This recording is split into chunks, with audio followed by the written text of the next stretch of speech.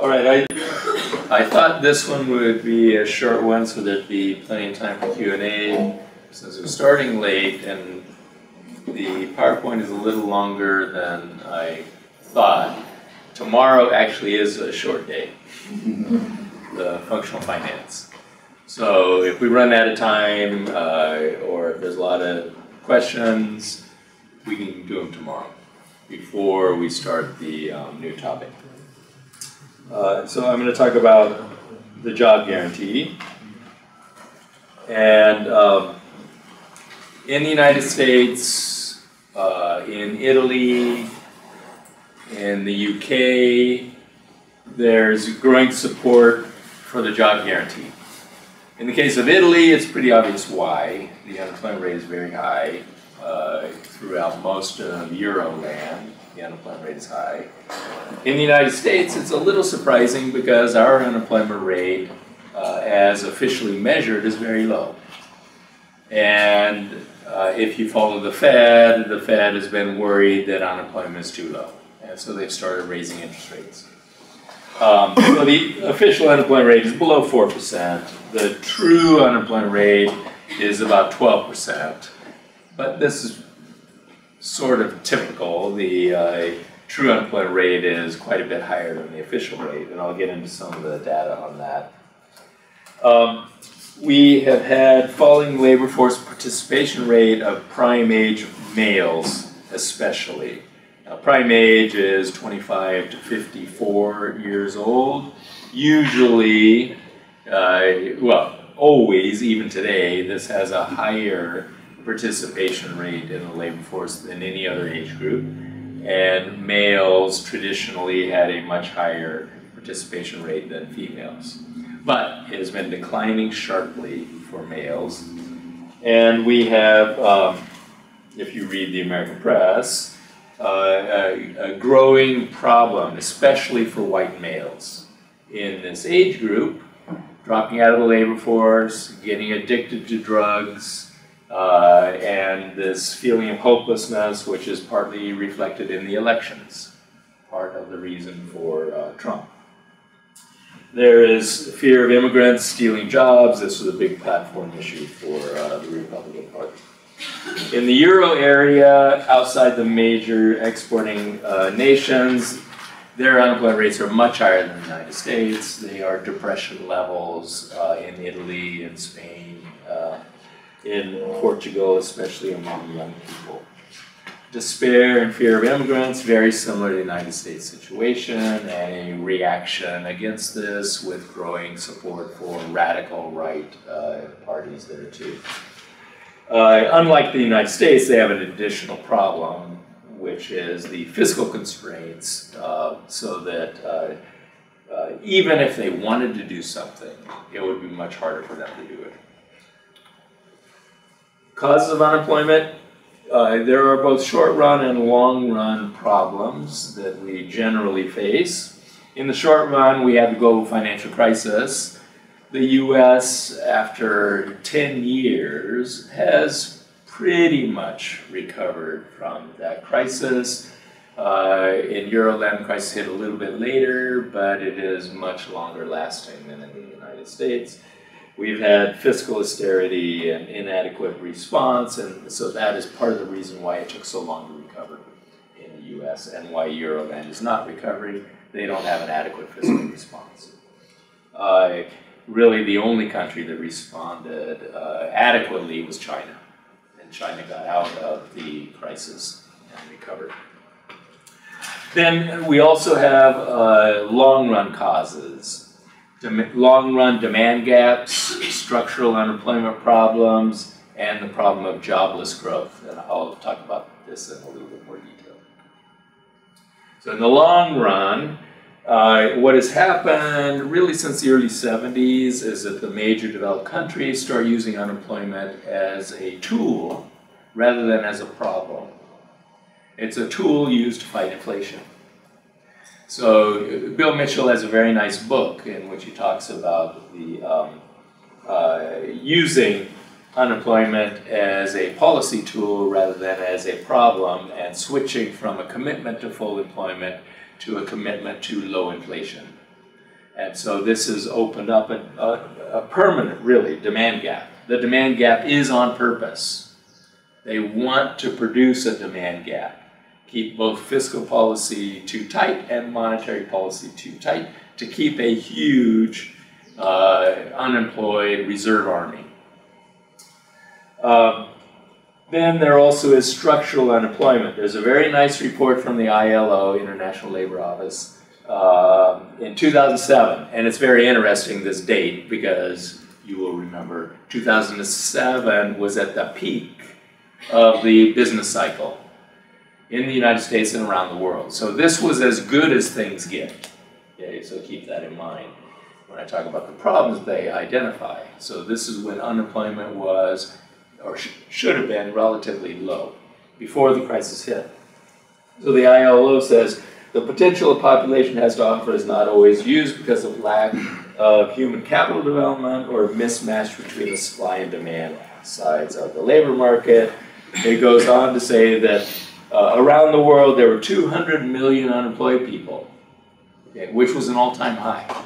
200 million unemployed people, in spite of strong growth. Every region has to face major labor market challenges, so it was a global problem. Growth fuels productivity growth. So productivity was up 26% over the previous 10 years. We're talking about 97 to 2007. But it doesn't create many jobs. Jobs were only up less than 17%. So we're having jobless growth. We're having growth without creating very many jobs. And the reason is because productivity is growing rapidly. Okay? Uh, for the people who've done history thought, you know that David Ricardo, in the later editions of his book, started worrying about this problem of machines replacing humans. It's called the machine problem in Ricardo's uh, work. Today, it's the robot problem. Okay, there's nothing new about this. So Ricardo worried that machines would replace human labor and we would have permanent unemployment. Now, for the most part, that didn't happen. It didn't happen because, well, it's true, of course, machines were always replacing humans. We found new uses for humans. So, what he feared, you could argue, really never happened. However, it's come back again. And now the argument is that the robots are replacing humans much faster than we find new things for humans to do. So uh, Larry Summers has been arguing this, and Robert Gordon has a, I would say overall, a very good book, a book you should read on um, this, uh, this problem of growth. Now, I think he's got the argument completely wrong, but it's still, the data is great, and a lot of the analysis is worth reading. I think that uh, it, he is wrong, as Ricardo was. Sorry, which book is this? Oh boy. Uh, I right now I'm not going to be able to remember the title, but it, it came out about three years ago. Sandy Summers? No, no, this is Robert Gordon. Robert Gordon wrote the book. Summers has written papers. Okay, this is Robert Gordon. Yeah, Robert Gordon. I can't think of the title, but it has growth in the title. It's about the United States, but he argues that the, the, the U.S. was the engine of growth. And so it's, it's American centric, but he argues that there's a reason for that. Uh, and he, he ties uh, growth to innovation. And the innovations, his argument is, came out of the US. Okay? Uh, so it's very interesting, but very wrong headed. Uh, but filled with data you can use. Okay, anyway. Um, costs of unemployment. Economists, of, of course, will uh, focus on the lost GDP. So unemployment is costly because we lose output. And um, it's, uh, unemployment is, is probably the worst problem that capitalist economies face because the losses are huge. They're much loss, they're much larger than the losses due to other inefficiencies. Okay? It's a waste of resources and it's a waste of your more va most valuable resource, which is labor. So they focus on that. But the social costs are probably even larger than the economic costs. So they would include things like poverty, social isolation, and crime. Uh, every society has to find something to do with young unemployed males. They are a huge problem. They get into trouble. Okay, in the United States, we we have well over uh, is it one million or two million? I think it's two million in prison. It's mostly young males. Um, regional deterioration because unemployment is concentrated. Wherever you go around the world, you will find you know there are areas that have much higher unemployment. Um, health issues, family breakdown, school dropouts, social, political, economic instability, violence, ethnic hostility because you blame other people for the problem. Uh, in the United States, the, it's the whites who are blaming the immigrants. Um, even terrorism, loss of human capital, hysteresis, the long-term unemployed become unemployable. Now, this may, it may not be reality, but it's what employers believe. If you've been unemployed for six months or more, they don't want to take the chance with you. So you become unemployable because they won't hire you. Uh, in the in the U.S., what we find is that long-term unemployment has increased a lot. Even though the unemployment rate has come down, we have uh, people who have been unemployed for a long time, and that accounts for more and more of the measured unemployment rate. And also, they tend to leave the labor force, so a lot of them don't get counted in the official figures. The benefits of full employment, okay, the obvious one, the one economists focus on, is you get goods and services if people are employed. But in addition, on the job training, uh, most training is on the job. Uh, it's nice that people go to college, but that is not where you learn how to work. you learn how to work once you get your job. Uh, poverty alleviation, community building, social networking, and it's particular kinds of social networks. So people who study this, you know, unemployed people have networks too. The problem is their networks don't lead to jobs. They may well lead to prison. So they've got their networks, but they, they aren't, you know, the kinds of networks that society wants to build. Intergenerational stability because employed people can take care of the young people and also the old people. You can take care of your parents and your grandparents if you have jobs social, political, economic stability, and then um, Sen, a Nobel Prize uh, winner, argue that there are uh, multipliers, so that the um, sum of the sorry the total benefits exceed just adding up the benefits from each one of the things I listed. So you get a multiplier effect of um, employment. Okay, so I'm going to talk about the job guarantee, and there's sort of three different sections. First, a general outline, then I want to talk about uh, Minsky's approach, and then I will talk about a recent report that we produced at the Levy Institute. So, what is it? It's a um, alternative to the Reserve Army of the Unemployed. Bill Mitchell is the one, not the only one, but the, the first one that I knew of who uh, made this argument that um, the uh, job guarantee provides an employed buffer stock. So instead of relying on the unemployed to act as a buffer stock that keeps wages and prices from rising, the uh, people in the job guarantee provide an employed buffer stock, which is also wage and price stabilizing. Um, it's an unconditional offer of a public job at a basic wage to anyone who wants to work. And I'll talk more about what we mean by public job and basic wage later. Because you can uh, define these differently. And different proposals will take different approaches to both of these. It maintains continuous full employment in the sense that because it's an unconditional job offer, anyone who wants a job at that basic wage can get one. So that is full employment. Are there people who refuse the job? Sure. Okay? And they may refuse it for a variety of reasons. They might refuse it simply because the wage is too low. Okay? But there is a job offer available, and so on that definition, their reservation is higher than what the job is providing, they're choosing to not work, we don't count that as unemployed. okay, in official measures. Uh, if you are not uh, taking the market wage, you are not counted as unemployed. It does not replace all labor force programs. So you probably will still need a variety of labor force programs because, um, uh, for example, uh, you may have high skilled people who really shouldn't be working in this kind of a job at this sort of a wage.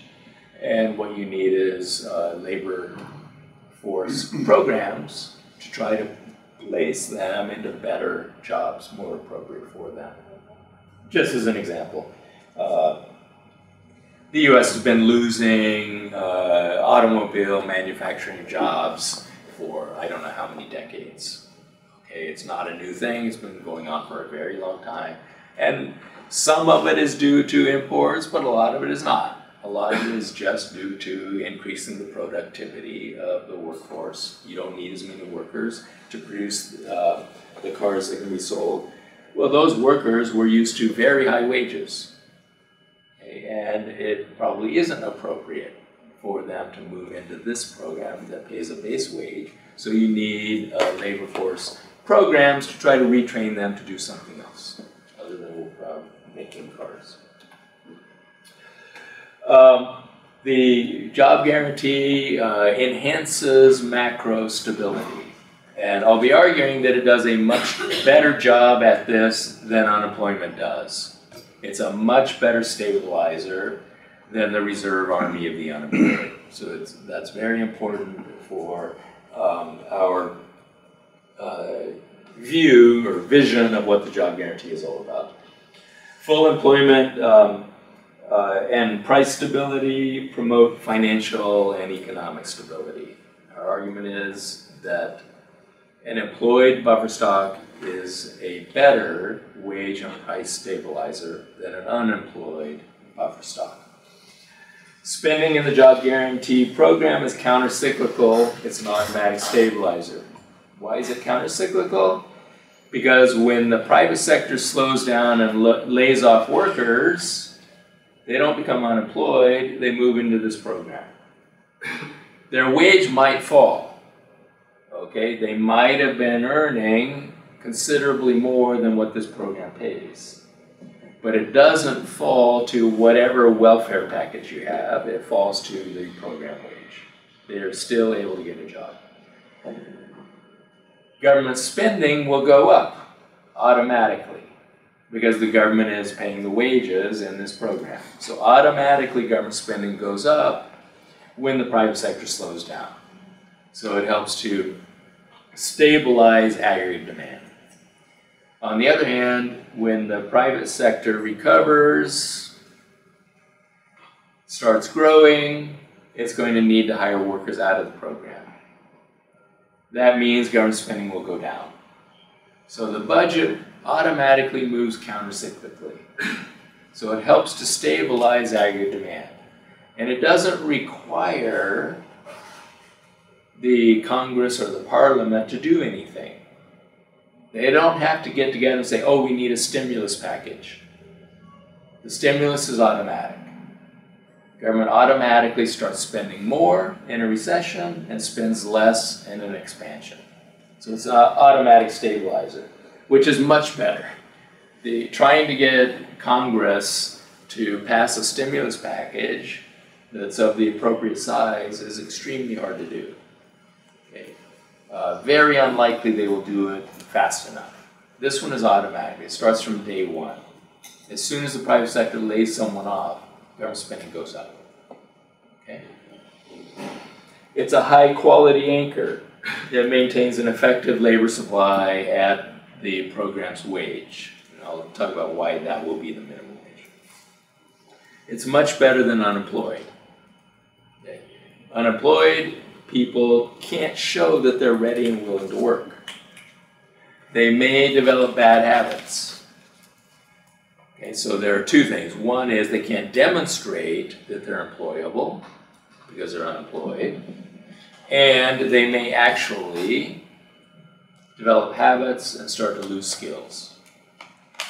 If they go into the jobs program instead of being unemployed, they're demonstrating they're ready and willing to work because they're ready and willing to work. They're going to work. They have work records that can be supplied by the program. Okay. How many days did they show up? How many days were they late? And so. All of this information can be made available. And um, as I'll talk about a little bit later, they will be receiving on-the-job training. Now, it, it may not be precisely what the employers are looking for, but at least they're gaining some skills and training on the job. The um, wage paid in the program determines the value of the currency. I talked about this the my first lecture in response to someone from the audience that um, whatever the government pays in this program effectively establishes the value of the currency in terms of the wage that is paid for an hour of labor. So the government is um, setting the value of the currency in terms of the wage it is paying, which is the basic wage in the economy. The fluctuation of wage income and thus consumption is stabilized. Wage can't fall below this wage floor. No one will work in the private sector for a lower wage than they can get in this program. Okay. Well, I shouldn't say no one. There could be some conditions in which you would. Maybe you would uh, be a starving actor at a very low pay in the hope that you would be discovered. Okay, so there could be some exceptions to that, but generally speaking, you're not going to take lower pay than what you get in this program. And it provides on-the-job training, uh, as Prof. Uh, Minsky always said, uh, that should be the goal of every single job. Every job that is created in this program should provide on-the-job training. Recently, uh, at the Levy Institute, we put out a report, and I'm going to talk about the details of that. Much of the way that we go about formulating the job guarantee is based on the work of Minsky, who was my professor, and although uh, he didn't talk that much about it in class or in person, um, after his death, I think I said this also in the first lecture, after his death, I discovered he'd written lots on the, uh, what he called employer of last resort program. And so from the very beginning, as we formulated how we would implement the program, we drew on his early work, which was mostly in the 60s and early 70s. So I want to talk a bit about Minsky's approach. In um, the early 60s, Minsky was at Berkeley. Berkeley had a very good labor department econo- in the economics uh, uh, department. Very good uh, labor economists. They were mostly institutionalists. And Minsky had an affinity for institutionalists. Uh, his own training in the beginning was institutionalist, not Keynesian. Um, and the uh, Berkeley was providing an alternative to the uh, war on poverty that was being developed in Washington by President Kennedy.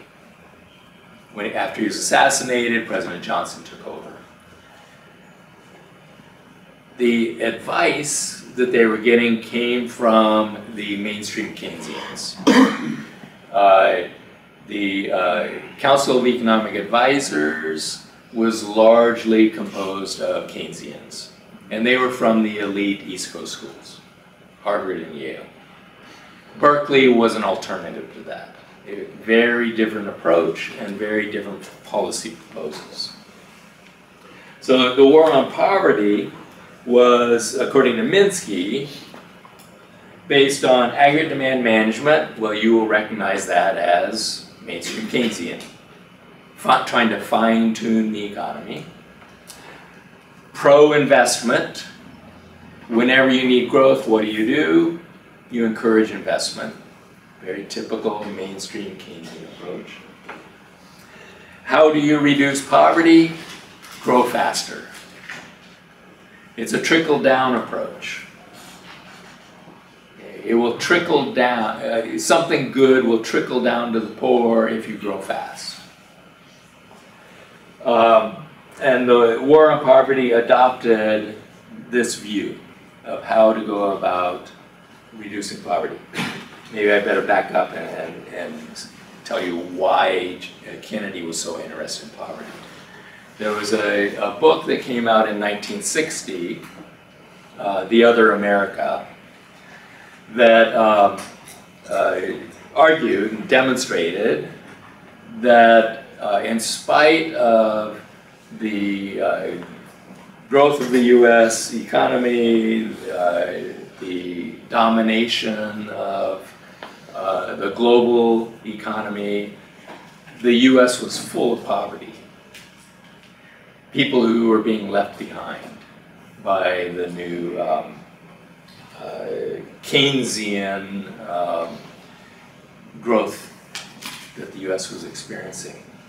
And so Kennedy wanted to uh, try to reduce poverty. So there was a great focus on this. It was, it was exposed, there was poverty all over the US, people were being left behind, and they wanted to do something about it. Um, Minsky argued that this Keynesian approach would fail. It was not going to reduce poverty. The reason is because it was biased toward inflation and financial instability. And so they, they, they might stimulate the economy, but when inflation uh, hit, they would put on the brake pedal. So it was a go, stop, and then go again policy. And furthermore, it would generate financial instability that would create financial crises and maybe recessions on its own. So it was not going to be able to um, continue on a uh, growth path that was going to raise uh, people out of poverty. The idea of rising tide lift all, lifts all boats. It's not going to work. Um, in the 70s, and largely for these reasons, the US and other, uh, except for Scandinavian countries, other countries began to abandon any uh, pretense of pursuing full employment. Largely inflation was the problem. Here I've just put a sample of some of Minsky's writings. It, it wasn't that he wrote just a couple of pieces. He was preoccupied with poverty, unemployment, and employer of last resort. Uh, you can see for about 10 years, there's 65 to 75. I, this is only a partial list, there's more. If you go to the Minsky archives at the Levy Institute, uh, you can scroll through and you can find lots of other pieces that he wrote on the topic. We put together some of these and then additional things in a um, book in 2013 that would collect some of his uh, major writings on this topic. Okay, so what was his approach? He said, a true war on poverty has to include a commitment to full employment. If you're not committed to full employment, then you're not going to solve the poverty problem because a very large part of the poverty problem is unemployment. In that, in the 70s, I, the 74 paper I think that I listed on the previous page, he demonstrated that if you provided just a minimum wage job to one person in each poor household in America, you would eliminate three-fourths of all poverty. One minimum wage job would bring them up above the poverty line. Okay, so it really is a, an unemployment problem. Second, so you need full employment. Second, only the federal government can provide the program. it has to be a federal government program. The state, as the sovereign currency issuer, has the financial capacity to meet that responsibility. It's only the currency issuer that can do it.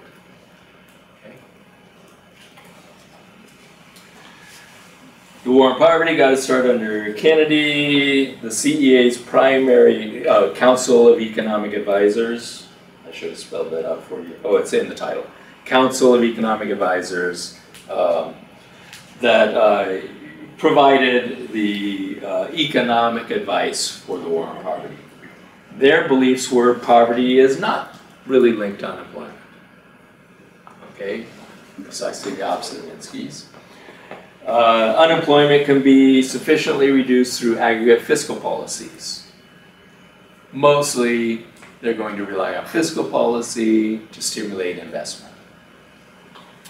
However, millions have to be unemployed to maintain wage and price stability. You see there's a conflict here. You can't have full employment if you need millions of people unemployed. You can't pursue full employment. So that's why they need that first statement. You have to believe you can continue to have lots of unemployed people and still eliminate poverty. Okay, otherwise this strategy is not going to work. Um, because the Phillips curve had, you know, come about in 1960. So they had uh, thoroughly adopted the Phillips curve. And these arguments still hold sway on the right and the left. Uh, so it's obvious the right wing still believes in the Phillips curve, but surprisingly, so does the left wing for the most part. So at the time, Minsky's writing about this in 1965. He says, without a jobs program that takes the poor as they are, the war on poverty will not be successful. Yeah. Sorry. Um, like two slides before Oh, was uh, so is it point three the for point two? yes. Yes. So Yeah, we need that. The federal and not not the states. Oh, by state, no, by state he means the nation state. Okay, this is not the state, not the 50 states, no, nation state. Sorry, I know, we use the, that term state in two different ways. But but you said um, it has to be the Fed. I mean the federal. Federal government, government has to be responsible for, for full employment. I understood not the states, not the 50 units. right, So the reason is because the federal uh, government is the one that, you know, can issue currency. Yes. That- well, so we're saying it's their responsibility, but can they do it? Maybe not, maybe they can't afford it. But he's saying that the national government can afford it. Now, there is a caveat, and, and I'll get to it. Okay, because in 65, we were still on a gold standard. Right, and Minsky recognized that as a barrier. So we won't really have full, full capacity until we go off gold. That's what he wrote in the 60s. All right? So right now, we could say, you know, the Italian government has the responsibility, but can they do it? Well, probably not. They don't have a sovereign currency. Okay, so maybe the responsibility falls to them, but they can't do it. They're fiscally constrained. Um, that takes the poor as they are. This is also a key point of Minsky. Because the, uh, the war on poverty really did not directly create jobs. It did have job training programs. And it had educational programs like Head Start, which was targeted to very young kids. The argument of Kennedy Johnson was that if we prepare the poor to work, then they'll be able to get jobs. The poor have problems. They don't have good enough education. And they have behavioral problems. We have to change the poor. We have to give them more education and we have to change their behavior. And then they will be able to get jobs.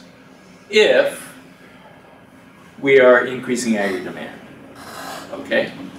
Um, so Minsky says that's the wrong approach. You have to take the poor as they are, give them a job, and give them training on the job. And change their behavior with employment. You can't ask them to get educated and trained and change their behavior, and then we will give you a job. Okay? The war on poverty is a conservative rebuttal to an ancient challenge of the radicals that capitalism necessarily generates poverty in the midst of plenty. Now, normally you would think, Americans thought, that the war on poverty was a very liberal thing. We're going to help the poor. Minsky says it's conservative. It's a conservative approach. Now, keep this in mind when we briefly talk about basic income guarantee. Minsky would see the basic income guarantee not as a liberal proposal, give everybody income.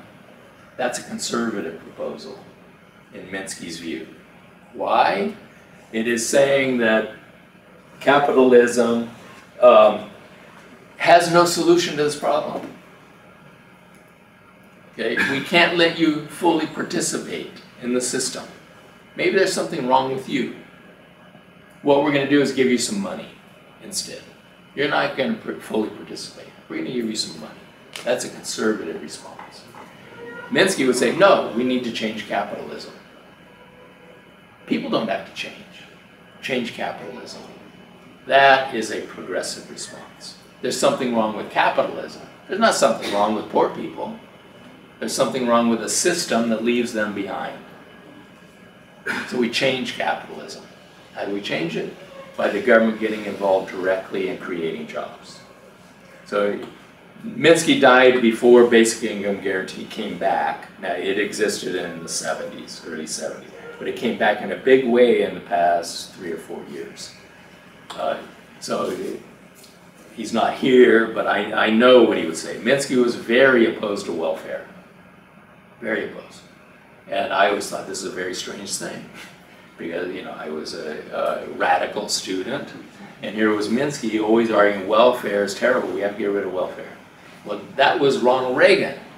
Minsky sounded a lot like Reagan. I never really understood why he was so opposed to it until I discovered all of his writing. And then it made perfect sense. That's the wrong response. That's a conservative response. So welfare is not liberal, it's conservative. We need to change the system. Don't just throw money at people. Okay, instead of providing the impoverished with an opportunity to work, it provided them with an opportunity to learn how to work. So that's why it's conservative. Um, the preferred strategy has been tax cuts to business to encourage investment. Okay, and if you look at the Kennedy stimulus programs, and ever after the Democrat uh, stimulus will typically be tax cuts for business, okay? not spending more. It's generally tax cuts. Okay, that's generally been even the Democrats' response, but also the Republicans. So in other words, they, they don't really differ in their approach. When you want to stimulate growth, what do you do? More tax cuts for business. In contrast, an expansion led by, the, oh, sorry, the, an expansion led by the private sector increases private indebtedness and financial fragility. So what is wrong with the tax cuts for business? If any policy that favors investment is going to tend to be inflationary and increasing financial fragility, according to Minsky, because it increases indebtedness. In contrast, an expansion led by the private sector actually enhances stability by providing safe assets um, and generating income flows. So Minsky preferred spending by the government rather than tax cuts. But he wanted the spending to be targeted. He didn't want general pump priming. He didn't want more spending on the military. He wanted targeted spending targeted to creating jobs. So alternative, policy weapons that are sufficient to move an economy from slack to full employment are not sufficient to sustain full employment. Okay, in other words, even if the tax cuts do stimulate investment and move you to full employment, you won't be able to stay there. So that policy might get you full employment, but you can't sustain it. Why? You start getting inflation, so the government cuts back its spending or raises taxes or raises interest rates, and financial fragility. So you get a crisis and you slow down. So you have to have a different strategy if you want to maintain full employment. So the tax cuts and investment stimulus might get you to full employment, but won't keep you there. You need a different kind of strategy. Private investment strategies can't make sustained strides in war against poverty. His alternative was high consumption fueled by policies that increase jobs. So this isn't uh, an anti-ecology argument when I say high consumption. He doesn't mean he wants everybody to go out and, and consume everything and destroy the environment. What he means is consumption to be a higher percent of GDP and investment to be a lower percent of GDP. Okay? So it's just relative to GDP. It's not uh, consume, uh, everybody consuming a lot. Um, and he wanted that consumption to be financed by wages. So we need high employment uh, with growing wages so that people are not using debt to finance the consumption. Further, government spending should play a major role in generating growth. Uh, his policies favor greater equality and greater stability. All right, he called it employer of last resort. He didn't come up with this. The term was used in the 1930s, and who knows, maybe it was used before that too, I don't know. But it definitely was used in the 30s. Uh, Minsky uh, worked in a, a New Deal job creation program. He was in the WPA, which was our biggest one, the Works Progress Administration. Um, he was hired into that, he was unemployed, hired into the program. He actually was um, the, uh, an assistant to Douglas of Cobb Douglas Production Function fame. Douglas employed Minsky to estimate Cobb Douglas production functions. This was a WPA project. Douglas went on to become a very important U.S. senator. Minsky remained friends uh, after he left after Douglas left academics and moved into government as a senator. Um, so anyway, he called it employer of last resort. Federal government funds a job guarantee program, setting the wage and offering a perfectly elastic supply of jobs. Minsky always argued in class, only the national government can provide a perfectly elastic supply of jobs because it doesn't have to make a profit and it can't run out of money. That's why it has to be the national government. Advantages, eliminates the kind of poverty that's due solely to joblessness. Okay, will poverty remain? Yes, it will. Some people can't work. Some people don't want to work. Some people shouldn't work. So you're still going to have poverty, but you will eliminate most poverty. And then you have to deal with the rest of the poverty in a different way. Okay? If people don't want to work, offering them a job is not going to solve their poverty problem, or if they can't work. Whereas the investment strategy raises demand for specialized labor, hoping jobs trickle down to the low skilled, the employment strategy takes the unemployed as they are and tailor makes jobs to their skills. Okay? So the uh, typical Keynesian approach, Joan Robinson called it military Keynesianism. What do you do? You pump up the military, which means you're hiring the best skilled workers. You are hiring the engineers, and so on. Typically, the government is not directly hiring them. It is paying private firms to hire them. Those private firms are the most advanced firms in the economy, the military industrial complex. The workers are highly unionized. So you have a combination of, on both sides, you have price setting. The firms are price setters, and the workers are unionized and they have um, power over wages. So you're going to be causing inflation. Okay. You will get inflation long before jobs trickle down to the low skilled workers. That's the problem. That's why it will never lead to full employment. Because you will put on the brake before you, the jobs ever trickle down to the poorest part of the population. So instead, what you need to do is take the unemployed as they are and create jobs that they can do. So it's a very different approach to achieving full employment. Instead of hiring off the top, you're hiring off the bottom. You don't hire the high skilled, you hire the least skilled people into the program.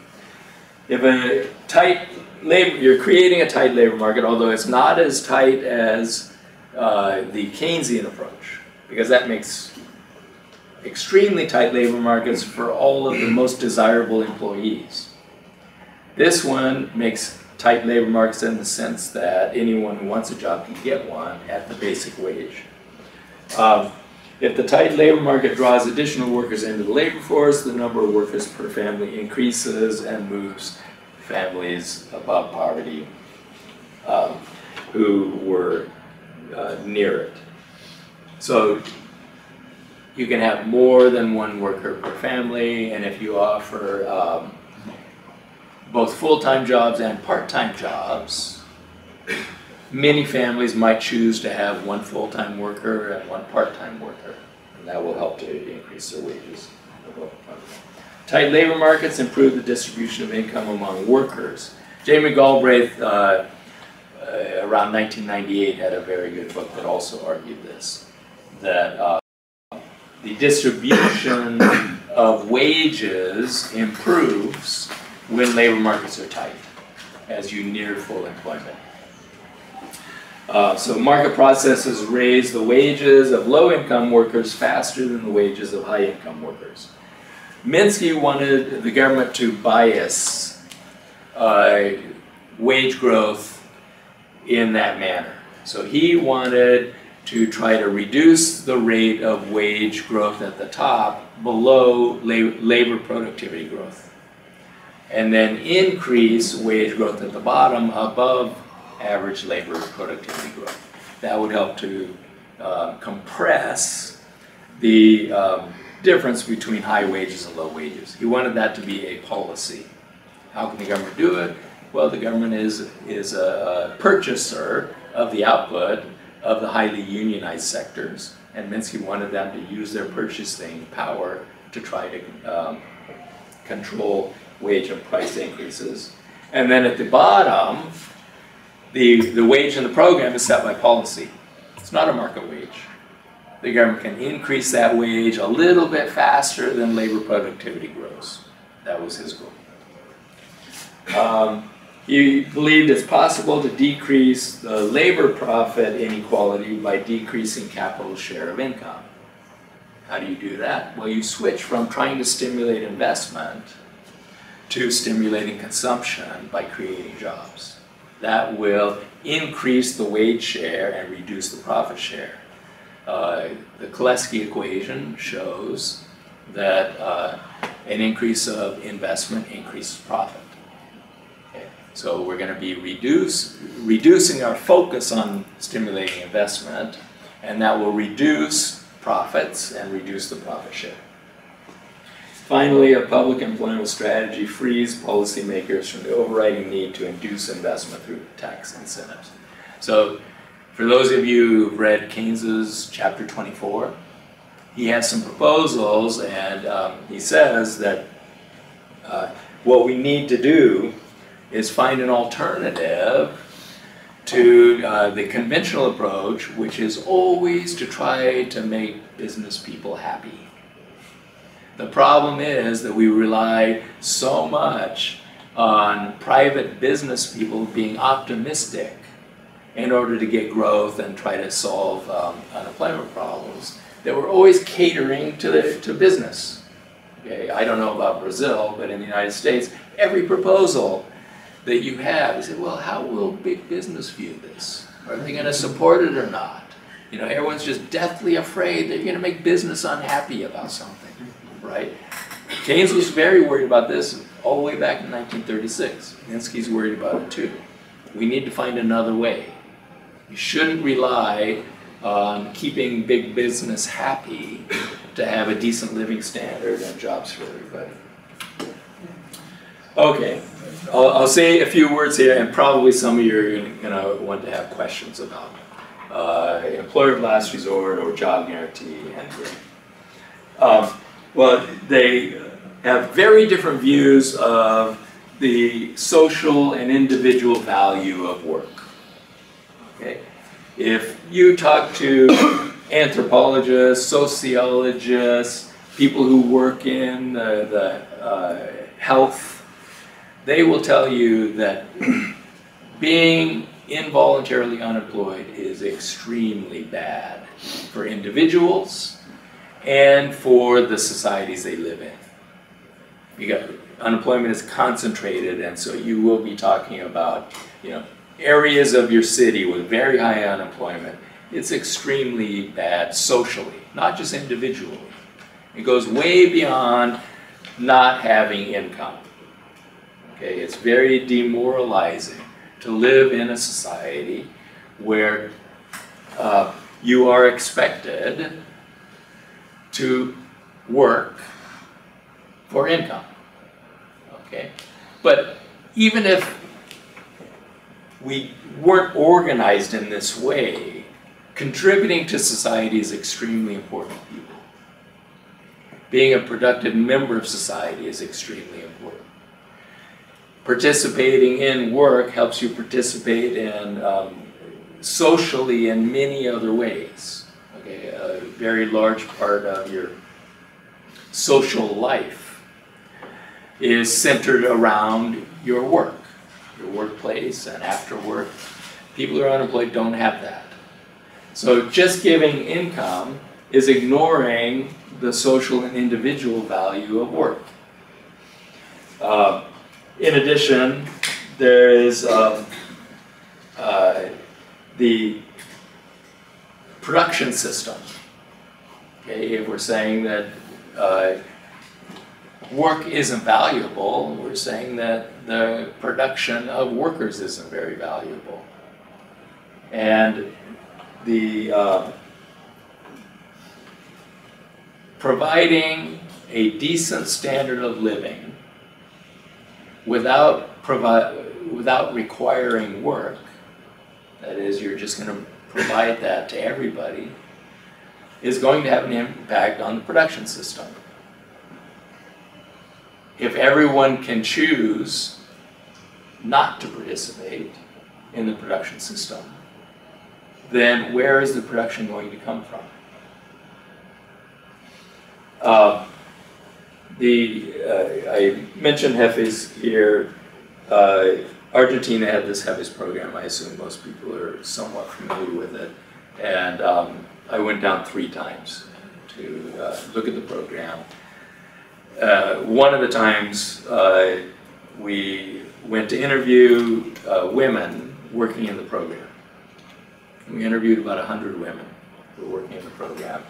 And we had a list of questions we were asking Pavlina Tcherneva and I. And uh, one question we asked ask them, what's the best thing about this job? We expected that they would say something about the income that they got. Virtually nobody gave that answer. The number one answer, by far and away, was I get to produce and contribute to society.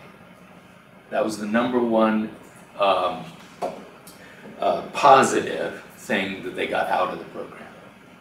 It's very surprising uh, to us. We, you know, we knew that it's important to people, but that virtually everyone listed that as the most important thing that they did, that they got out of the program, uh, was surprising.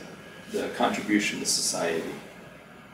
Political sustainability, uh, participating uh, in employment and uh, being in social networks helps to contribute to political stability too. as far as the um, reserve army of the employed, it is helping to stabilize wages and stabilize inflation. If you are simply providing a big basic income guarantee without requiring work, and you're giving this to everyone, you are providing a very large increase in aggregate demand without increasing aggregate supply. You may be reducing aggregate supply if people are deciding that uh, with the basic in- income guarantee and a guaranteed reasonably good living standard, at least some people will choose not to work. So at best, you're not increasing aggregate supply, and more likely you're reducing it at the time that you are greatly increasing aggregate demand. If you are really offering a basic income guarantee.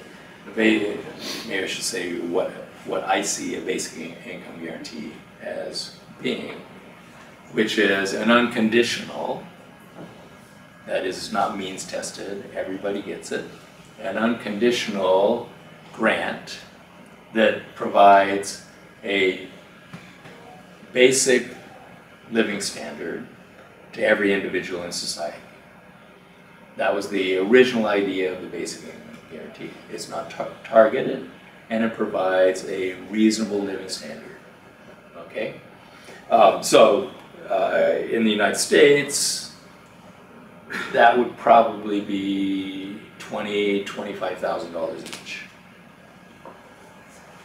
Which will amount to somewhere around fifty percent increase in income of households.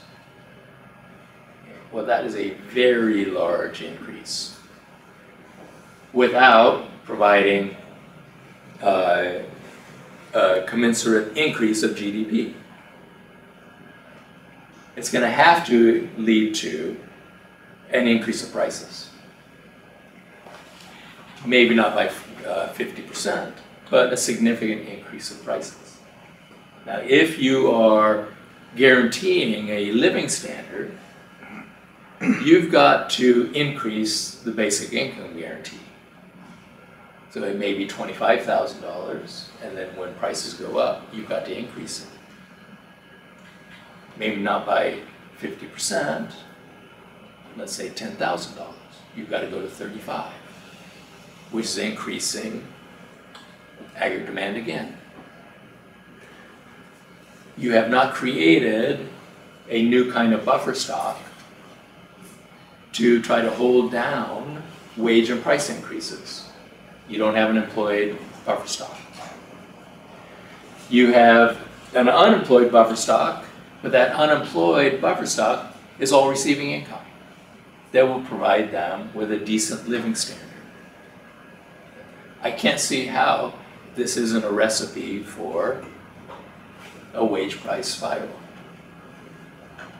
Because there's no incentive here to increase employment. The reserve army of the employed, on the other hand, is providing the buffer stock you need. Yes, it's increasing income, but the people in the program are not lost to private employers. You can always hire them out of the pool by paying a slightly higher wage than what is paid in the pool. They're, they're employable. So as aggregate demand goes up, you can recruit from that pool to increase production to match the increased demand for the output. With the basic income guarantee, you haven't created this residual pool. What you've done is you've reduced the incentive for the already unemployed to actually take the job because they're getting the basic income guarantee whether they work or not. Which of those two scenarios is going to be more inflationary? To me, it's obvious. I can't understand the argument that the basic income guarantee will not be inflationary. It's got to be inflationary. Um, You aren't providing training and education on the job because you're not providing jobs. With the job guarantee program, you're providing training and education. In the best case scenario, you're providing it to every single person who works in the program. Okay, now, are we going to get the best case scenario? No, we're not. Okay, I'm realistic. There will be people who work in the program who aren't getting any additional skills or training, but at least some people are. So at least some people are enhancing their skills and training, and they're becoming more desirable to the private sector.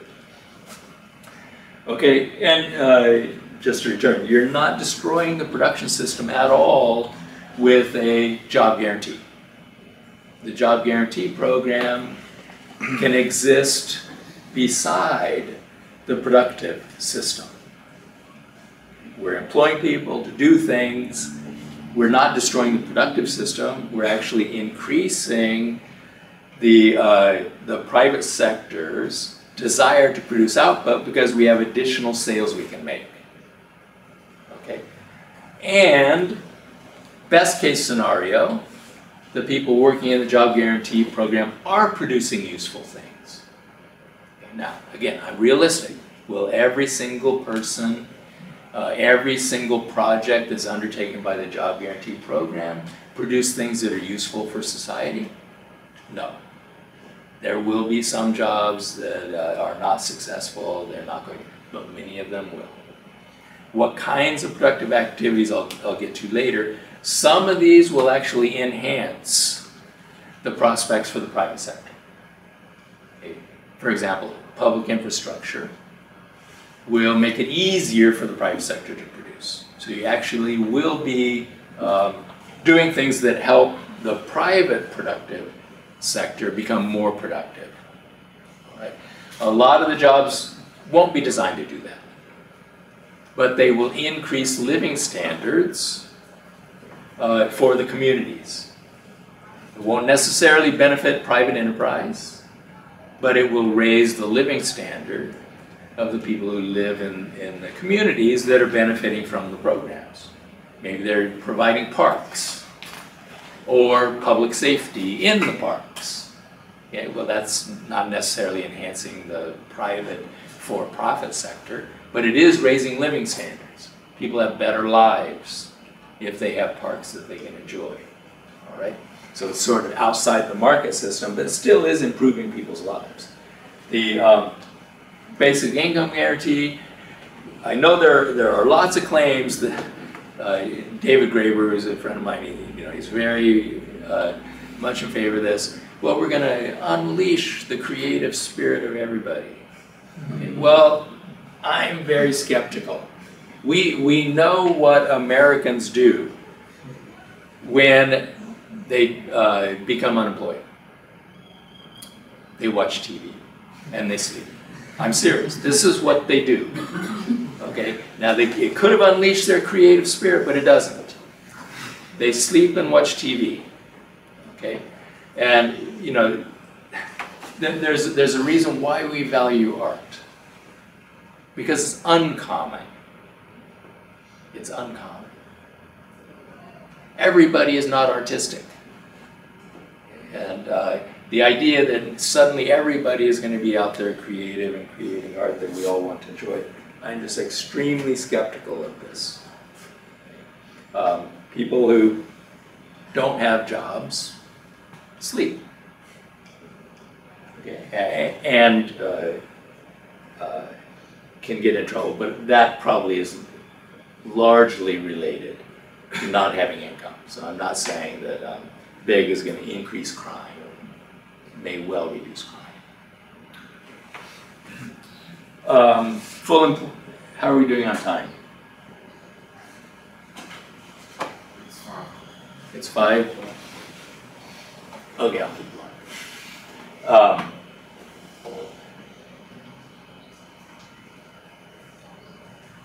growth by itself is not an appropriate goal. Uh, economists have sort of convinced us that you know this is what economies should strive for is growth, but growth doesn't create enough jobs, this was the ILO's complaint. Okay, we can have relatively good growth and rising unemployment. It can promote rising inequality. I'll show some data.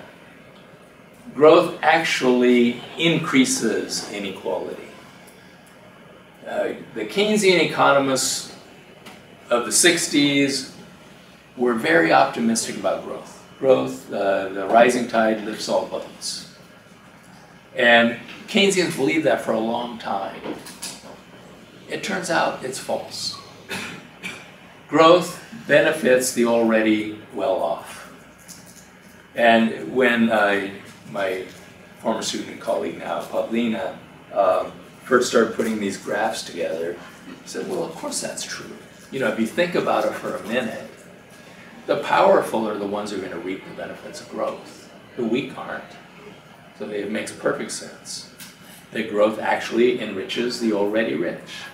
It really doesn't help the poor. So by itself. It promotes financial instability, and now uh, everyone's concerned about uh, the environment. It can harm the environment. Full employment through employer of last resort promotes shared prosperity because growth is sort of the residual. Let's provide a job to everybody, and if we grow, fine. So if the growth will be shared because what we're doing is hiring off the bottom. It can, can lead to an environmentally sustainable development path. That should be the goal of the jobs that are created. Since the jobs are created through policy, not through the market system, you can choose to make the jobs environmentally sustainable. You can use the program to increase environmental sustainability. Um, and it uh, contributes to price and currency stability because you are helping to stabilize wages. And by currency stability, what I mean is sort of the same argument that I was making before. You are establishing the value of your currency in the wage that you're paying. And that will help to stabilize the value of your currency externally too. Stabilizes it internally and also helps to stabilize it externally. Okay, finally the caveat. Uh, Minsky anticipated pie in the sky objections against spending, deficits, easy money. He said we have to ignore those. Uh, the ELR program is less inflationary than the current system. Pump priming is not sustainable. And the one barrier we face is called the cross of gold. This goes back to um, the late 19th century. The gold standard, I don't need to read the long quote. He says, the solution to the gold standard barrier is simple, get rid of the gold standard. Which we did a few years after he wrote that. So that removed the final barrier, and his argument was, this isn't pie in the sky. This is something we can do. All right?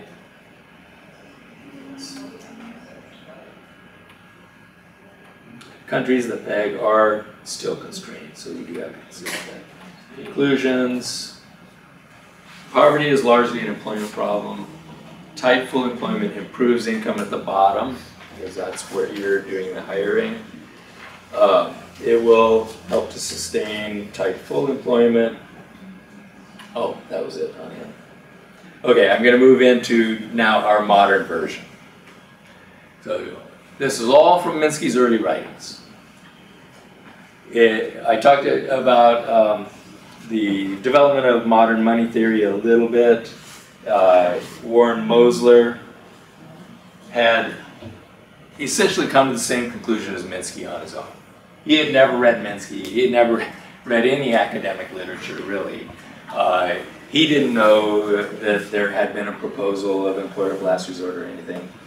But he independently came up with the realization that first, um, unemployment means the federal budget deficit is too small. So we have a problem of effective demand. And second, the value of a currency is determined by the prices paid by that government. So Warren is going beyond what I was arguing. That the job guarantee program sets the value of currency equal to the wage, the hour of labor you get for, let's say, fifteen dollars in the program. Warren argued that since the government is imposing a tax on the population, and it is issuing the currency that people need to pay the tax, the government can set the conditions in which it will provide the currency. So the government is going to buy stuff from the private sector. Why? Because it, the government needs resources to pursue the public purpose. The government can set the price of everything that it buys. Because the population has to have the currency. And so we could just carry it to an extreme. If the government said that, um, you know, we're going to buy an aircraft carrier, I use this example in the 98 book. We're going to buy an aircraft carrier, and normally, I don't know what it is, a billion dollars. The government says, we're only going to pay one million. We don't like paying a billion. We want to increase the value of the currency. We're only going to pay one million. But of course, nobody's going to offer an aircraft carrier for a million if they've been expecting a billion. What happens? Well, nobody can pay their taxes. The prices are going to have to fall before the population can get the currency that they need to pay the tax. If the government is willing to cause massive deflation, they can get the prices down to where they want them. Okay? It, it is the price setter because the population needs the currency to buy the tax. So I was you know, purposely using an extreme um, example. The uh, government doesn't need to set the price of everything that it buys, but it can use its pricing power strategically to try to stabilize the currency. So what you want to do is set the price of the most strategic resources in the economy. Oil, the government can be a price setter for oil, so you will only pay this price. And labor. Those are two of the most important, uh, well, labor is the most important resource. So the government can use its pricing power strategically to try to help stabilize the value of the currency. Uh, personally, I would use only the job guarantee program in a country like the United States. Okay, This will be enough because we don't have a huge problem with inflation. And in other countries, there might be other commodities that you want to try to strategically uh, influence the prices of those. From the very beginning, there has been this objection uh, that uh, post-Keynesians use. Kalecki, I, I suppose, uh, a brilliant article, but uh, it was for a particular time. Okay, it's outdated, I think. The premise that the government of a capitalist state will maintain full employment if only you will know how to do it is by no means obvious. So he was arguing that there are two big problems with um, trying to propose that government maintain full employment. Um, first, you need a reserve army of the unemployed to stabilize wages. Well, a reserve army of the employed will do an even better job. Okay, so I, I don't think that this objection is valid if you're talking about a job guarantee. Now, if you're ju- just talking about general Keynesian policy, I absolutely agree that this is a problem. Keynesian uh, pump priming is going to cause inflation unless you maintain a reserve army of the unemployed. But if you're using directed spending, uh, you don't need a reserve army of the unemployed. The second objection that Kalecki raised was, you know, who is going to pay the taxes to finance full employment? Obviously, it can't be poor people. It's going to be higher income people, and they are more politically powerful, and they're going to prevent it from happening. This is the basic argument that's raised. Well, the sovereign government can't run out of currency. They don't need to impose a tax to uh, implement a job guarantee program. You don't need any new taxes. I'll go through our simulations uh, to show that what we've claimed all along is true, I mean, as far as a simulation can tell you. Simulations are simulations, it's not the real world, but it does give you some uh, uh, sort of an external verification. Job guarantee programs can be implemented without imposing new taxes. So it's not that we're going to have to convince the rich to pay more taxes before we can have full employment. We don't need more taxes to implement a job guarantee program.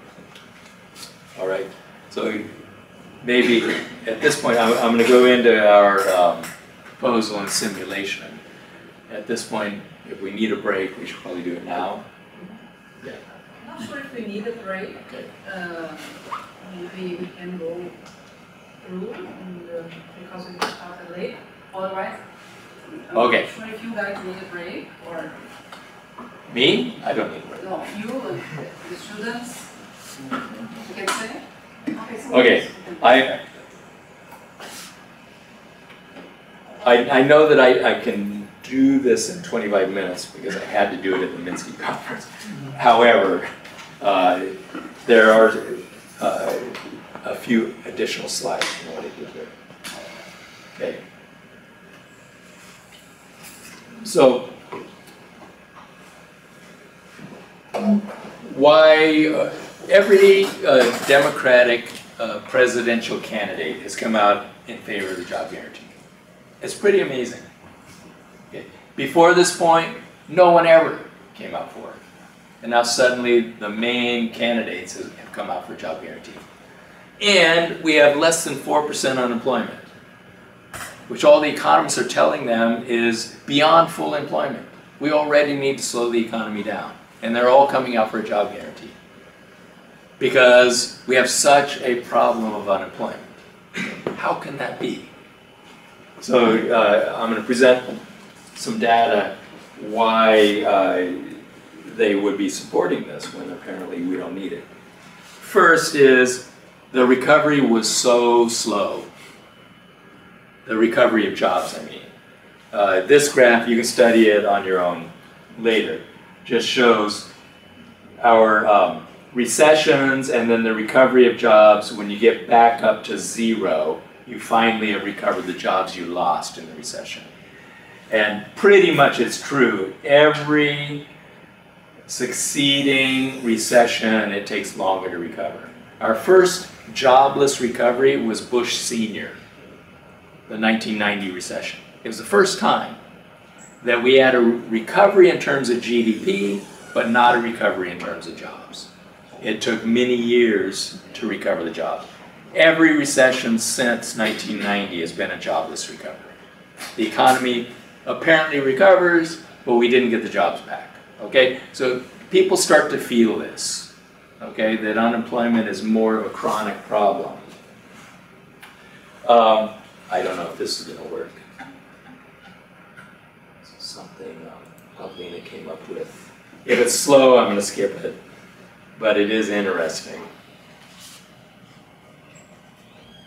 So 1990 to 2016, black is high unemployment areas. This is a recession and then recovery.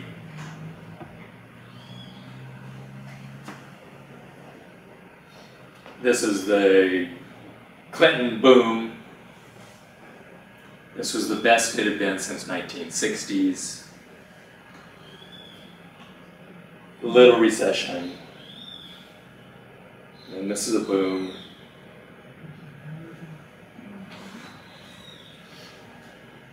And now the global financial crisis.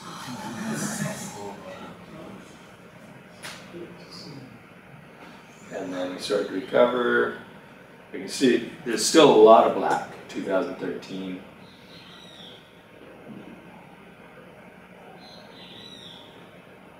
Okay, so 2016, we had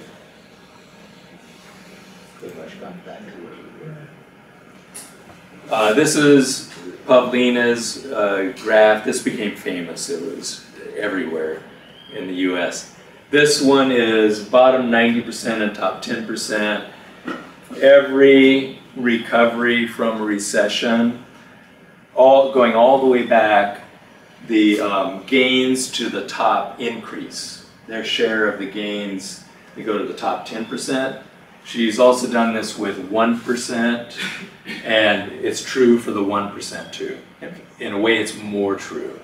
It's not quite as dramatic. They're not getting hundred percent of all the gains from uh, the recovery, but in uh, these last um, two, they've got uh, virtually all the gains go to the top ten percent. This shows uh, the unemployment rates rising, coming down, rising, coming down. Uh, the official unemployment rate today very low. Well, it's even lower than this now. This is a, a broader measure, and this is one that uh, Flavia Dantas and I uh, came up with. So it's still the point is it's still high. So the official measure is very low. We find it's more like 13 percent. Um, this shows participation rates by age. Um, you can see that from a peak, it's been declining, and even though this is 2016, we're still not back where we were for um, the uh, all group and the female group. Here's the male, prime age. It's down on a downward trend since 1970 and sharply down here. So we have this problem with males in particular. And people have tried to come up with explanations for why our uh, labor force participation rate uh, uh, has stagnated overall, come down a little bit overall, and declining for men. Uh, if we compare ourselves to OECD nations, we're very unusual. Most of them have actually higher participation rates than us for prime age. This includes women. And most have had rising labor force participation rates between 90 and 2015. We're one of the few that actually has falling labor force participation rates. There's something strange going on in the US. Um, this is the duration of unemployment and the labor force participation rate. Um, the uh, long-term unemployment is correlated with a falling labor force participation rate. So as unemployment on average is longer, our more and more people leave the labor force. So the labor force participation rate comes down. This one is age groups, which shows um, just you you can look at these. You can see for men it's coming down. People say that the reason why labor force participation rate is coming down is because people are retiring. Well, if you look at our aged group over 55, they're actually increasing their labor force participation rates. They're the only group that has increased labor force participation rates in the last decade. So they're actually uh, continuing to work longer. The problem can't be uh, retirement. Demand side explanations, um, falling demand for middle and low skilled workers. This is the CEA. There's some truth in that. Lack of jobs at decent wages, some truth in that. Overall economic performance, chronically insufficient aggregate demand. uh, economic growth doesn't create enough robots. This is the Larry Summers robots uh, uh, explanation. Robots take the jobs away. On any given day, just about one out of every six men of prime working age has no paid job of any kind. So for all of these reasons, people realize the official unemployment rate isn't telling you what you need to know. We have a lot of people outside the labor force, especially prime age males. Is the labor market tight? So this is another way to, to look at uh, the official unemployment rate and um, how misleading it can be. If we really had uh, a low unemployment rate, if labor markets are really tight, wages should be going up. That's basic economics. They aren't. Um, the nominal hour wage has barely picked up, running just a little bit above the inflation rate some uh, quarters. And in spite of productivity growth, real wages are not rising. Okay, this is, Rick Wolff has been going around giving this picture.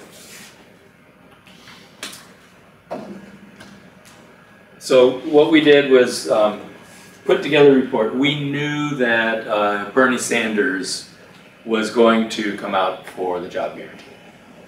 We didn't know the others were, but we wanted to have a um, report and a simulation ready uh, for uh, Bernie's announcement. It turned out everybody came out uh, even before we put out the report. But once we put it out, a lot of them were um, picking it up and quoting it. So we based it on Minsky's employer of last resort, and uh, you can read it there. Um, it has to be permanent. The problem with the New Deal was they created 13 million jobs in the New Deal, which was a lot, significant uh, compared to the size of our labor force. Of course, the Depression was terrible. We had unemployment at 25%. But when we re recovered, there was pressure to get rid of it, and we gradually phased it out. So we have to make sure it's permanent. It's not something you implement in a downturn and then get rid of when things improve. It has to be universal, so jobs for everyone, jobs for every community. Everybody uh, can get a job and every community has jobs in their community. So one uh, uh, problem with the New Deal was that some of the programs had projects that the workers went to. They left the communities. So, for example, we had the Civil, Civilian Conservation Corps. Young men went out and they worked in the National Forest and so on. That's fine, but you want the communities to see the results of the projects in their communities. So it's very important. Every community has projects. And the jobs have to be good jobs at good wages. So we proposed a permanent program, made it part of a bold structural reform agenda. Federally funded, but locally administered. So unlike the New Deal program, which was administered from Washington, ours is going to be very decentralized. Every community will put forward projects. Uh, there are uh, a number of reasons for this. Uh, Minsky used to say, you know, I wonder if we have the competence to implement a New Deal program anymore in Washington. Does the competence exist? Now, he didn't even live through Trump. Uh, you know, it, it's just inconceivable that Washington could run a program that's creating jobs in every community in the United States. It's just not conceivable. There could be countries where the central government is competent and could do this, but in the United States, I don't think it can be done. Um, the local communities know who the unemployed are and they know the kinds of projects they need. So it makes more sense to decentralize. Further, the, the New Deal was really remarkable because there was very little corruption and there was no corruption in the jobs programs. None. None has ever been exposed. Now, there was this discrimination. There's discrimination against African Americans. You know, that was terrible. But there wasn't corruption. Um, corruption, you know, is rampant in Washington now. There, there, there are no programs that aren't full of corruption. So the problem with corruption is that when it's exposed, and if the program is run in Washington, it's going to taint the whole program. Okay, you're going to find some corruption somewhere, and then the whole program will be tainted. If you decentralize, will there be some corruption? Yes, there will. But it's going to be localized. It's going to be some local community where the government, the local government, or a local uh, NGO uh, is corrupt. Okay, and then you exclude them from the program, you eject them, the rest of the program remains. So that's, I think, another reason for decentralizing. Universal access, voluntary employment opportunities on demand, open to all people. So not like the New Deal, which discriminated on the basis of race. Uh, also, some programs were for men. Uh, this one will uh, provide jobs to anyone who wants to work. They will pay $15 an hour. Our minimum wage is half of that right now in the United States. So this is doubling the minimum wage. There is a movement to raise minimum wage to $15 an hour. So that's why we chose this number. There's already a movement, and this will give us that. Basic benefits, and the basic benefits are generous. It's going to be um, medical care. In America, you probably know, uh, Americans don't have a universal uh, medical care. This will give us one. Everyone in the program will get it. Um, and other benefits too. An employment safety net, transitional job opportunity. It's not compulsory workfare. So workfare means you're already getting welfare benefits, but now we're going to make you work for them. That's workfare. We're not doing that. Whatever welfare programs already exist, we're not changing them.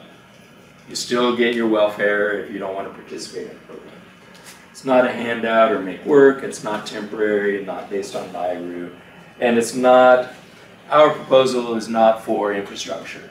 So some people have said, the US needs $3 trillion of public infrastructure investment just to repair what we already have. That's not going to bring us up to China.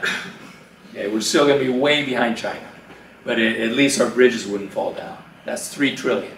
So people say, even Trump says, we need public infrastructure investment.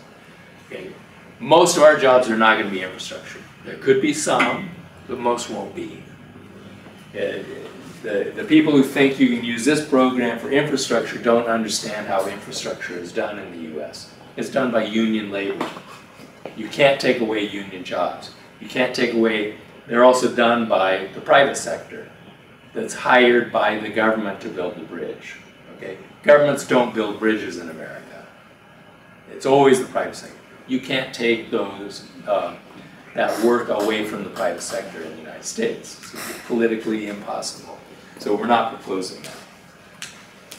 It's full employment, a softer business cycle, secure wage floor and labor standard, uh, distressed areas are naturally targeted because the jobs are created where the unemployed are. So you are targeting the poorest parts of every community. Okay, so the poorest neighborhoods in the city are the ones that will get the jobs because that's where the unemployed are. Um, pre-distribution, uh, we're going to increase the wage share directly. We're not using redistribution, you know, which is tax the rich and give welfare to the poor. It's pre-distribution, you increase wages. Prevention, not just cure, uh, recognizes the social costs of unemployment, provides jobs. Um, our proposal differs from others, so several other proposals have come forward. I'm not going to go through those, uh, but uh, ours is very simple. Uh, everyone gets the same wage. Some proposals want to try to pay higher wages to higher skilled workers. We think that that's uh, a mistake because then you're competing with the private sector. We don't compete with the private sector. We pay fifteen dollars an hour in the program. The private sector will have to pay fifteen dollars an hour or more, but we don't bid against the private sector. If you want to hire a skilled worker for thirty dollars an hour, we don't say, well, we'll pay thirty-five. Okay, we're not going to bid them away. Everyone gets twenty-five. Whether they're a doctor, a lawyer, they're going to get, uh, sorry, fifteen dollars an hour, no matter what, no matter what they are.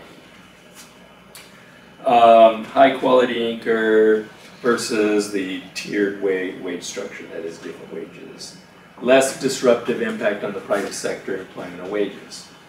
Uh, it's true that if you raise the wage $15 an hour, there's some disruption there. Private sector has been paying, let's say, $7.50 an hour, the, the basic minimum wage. They're going to have to pay 15. That's a disruption. It's a one-time jump of wages, which is going to cause some of them to raise their prices. And some of them will go out of business. Some will just say, I can't pay $15 an hour. Okay. Some will go out of business. Now, we don't know exactly how many. We, we have put that in to the simulation that I'm going to uh, talk about. Uh, but if you compare, well, first, it's going to be phased in. The proposals to raise the minimum wage raise them in steps until uh, 2022. That's when we hit $15 an hour. So we would phase this in the same way. Uh, the, the steps that are phased in are a little higher than the way we've uh, raised minimum wages in the past. So the, the percentage increase of the wage at each step is a little bit higher, but not very much higher. When we raise the minimum wage in the past, a few firms go out of business. However, other firms hire more labor. Why do they hire more? Because when wages are higher, people can consume more and their sales go up. Okay. The, there are lots of empirical studies of what happens when you raise minimum wages. Um, what a lot of these do is they focus on, say, New Jersey raises their minimum, their state minimum wage, and Pennsylvania doesn't. And they look and look at the employment effects of the increase in New Jersey. What these studies find is that employment actually increases a little bit. Okay, it goes against neoclassical theory. Employment increases a little bit. Now, this is different from that because it's nationwide, it's $15 an hour, um, but it's just not plausible that the employment effects uh, on the private sector are going to be huge. That is, laying off lots of workers. We assume that 25% of current low wage employers will go out of business. 75% will be able to raise their wages. Okay? And I, I think that that's pretty um, uh, consistent with what we observed in the past. And in our simulation, at $15 an hour, private employment actually goes up in the simulation. Okay, this is the result of the model. Why? Aggregate demand's higher. So the private sector actually increases employment. So net, you gain employment. Yes, you lose some employers. When people complain about that, I say, well, you know, if your business model requires poverty level wages, you should go out of business, right? I mean, if I could pay a dollar an hour, I could think of lots of employment where people are basically starving. You can think of lots of things you could use them for, lots of business models that would be successful if you could pay dollar an hour wages. But we don't allow it. We don't allow it now. We require 750 an hour. And raising the minimum wage is normal. Over time, you gradually raise it. And it should rise in real terms. In the United States, it doesn't. Whenever we increase it, we're just catching up, right, to inflation. But it should be rising in real terms. So I'm not that worried about businesses that have to go out of business because they have bad business models. They should go out of business. If they can't think of a way of paying wages that, are higher than what Vietnam pays, they shouldn't be operating in the US. They should go to Vietnam, Vietnam should be raising wages too over time. Um, where I? Uh, greater economic stability, uh, lower inflationary impact than the other proposals. Ours are locally run, not federal government, and they're not. Okay, uh, you're not very interested in the details, so these kinds of details. How do you do it? We would do it through the Department of Labor, and then um, the, uh, the funding comes from the Department of Labor, but states and municipalities uh, will be the second layer down. They will uh, accept proposals, they're gonna uh, check the projects, evaluate them, make sure they're successful. Uh, The unemployment offices become employment offices, so rather than handing out unemployment checks, what they do is they have lists of people who want jobs. The uh, employers come there and they try to recruit from among the unemployed.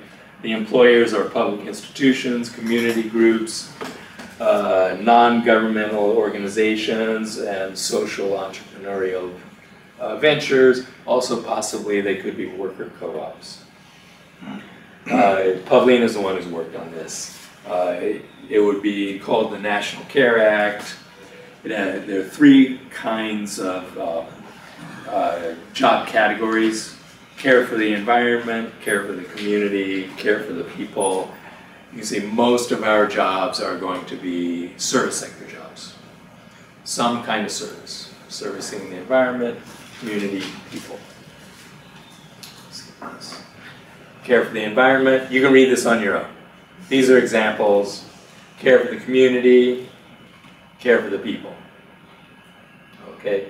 Um, there have been several polls uh, uh, in the United States, and they typically are finding above 50% supporting job guarantee, even when uh, it's phrased uh, the federal government will guarantee uh, and provide a job to anyone who wants to work. Okay, even that gets above 50% which given the hostility Americans have toward the federal government is amazing. It gets 50%. The people who ran this poll said they had never gotten such positive responses to any poll they had ever given. It was positive everywhere in the country. It was positive with Republicans. Far more supported it than opposed it. They had never had a poll like this before, they said. Um, positive impacts on employment, national output, poverty rates, state and local government budgets, manageable effects on the federal budget. Of course, we don't believe that it matters. Government can't run out of money, but everybody else does. So we have to report what the budget effects are and inflation. Um, Scott Fullwiler is the one who uh, ran the simulations. He works with the FAIR model all the time. FAIR model is an orthodox model that's uh, commonly used in the US for policy analysis. So we're- using an orthodox model, not one we, not an MMT model. If we had an MMT model, the results would have been much better. Okay, so this does not have the employed buffer stock effect. It's not in there, okay, because FAIR doesn't believe in that. It has a NAIRU.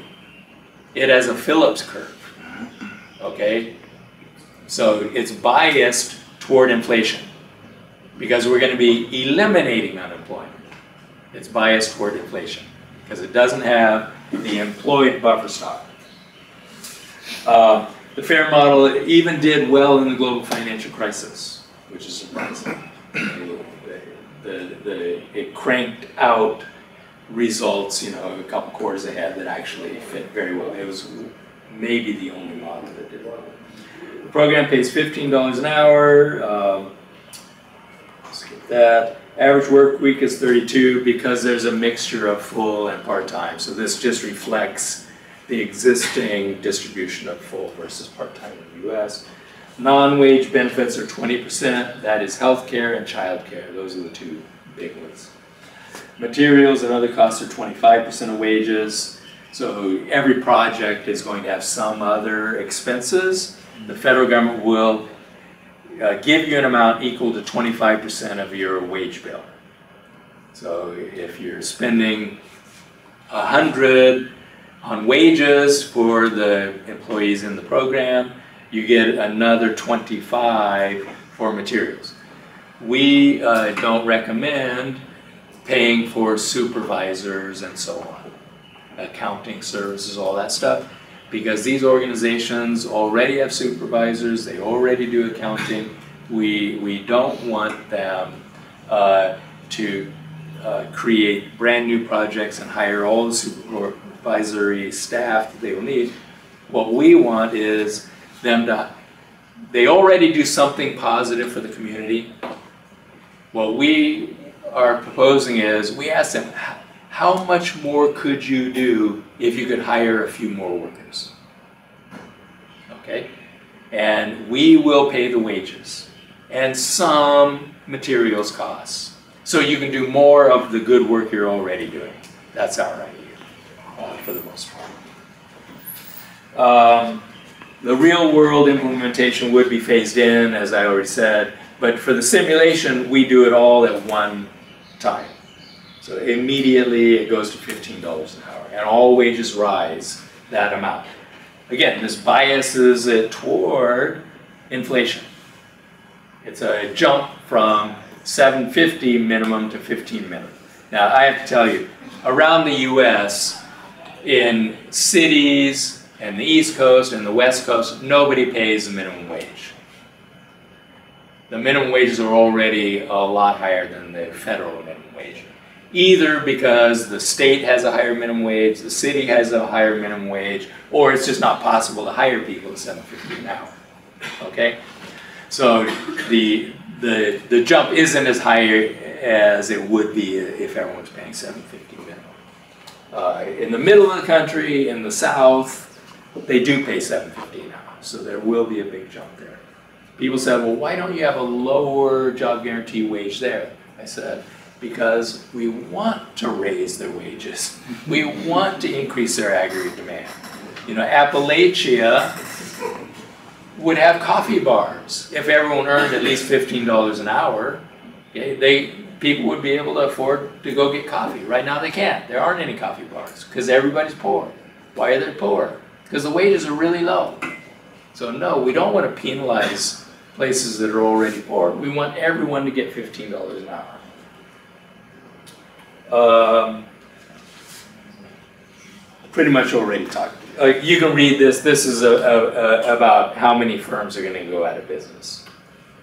Model simulated. Okay, we had four uh, simulations. I'm going to focus on the one that uh, is most biased against us.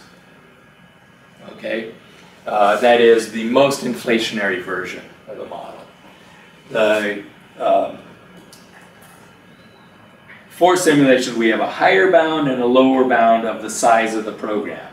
So what we had to do is we look at all the people who are not employed now or are involuntarily part-time who want full-time jobs. Okay?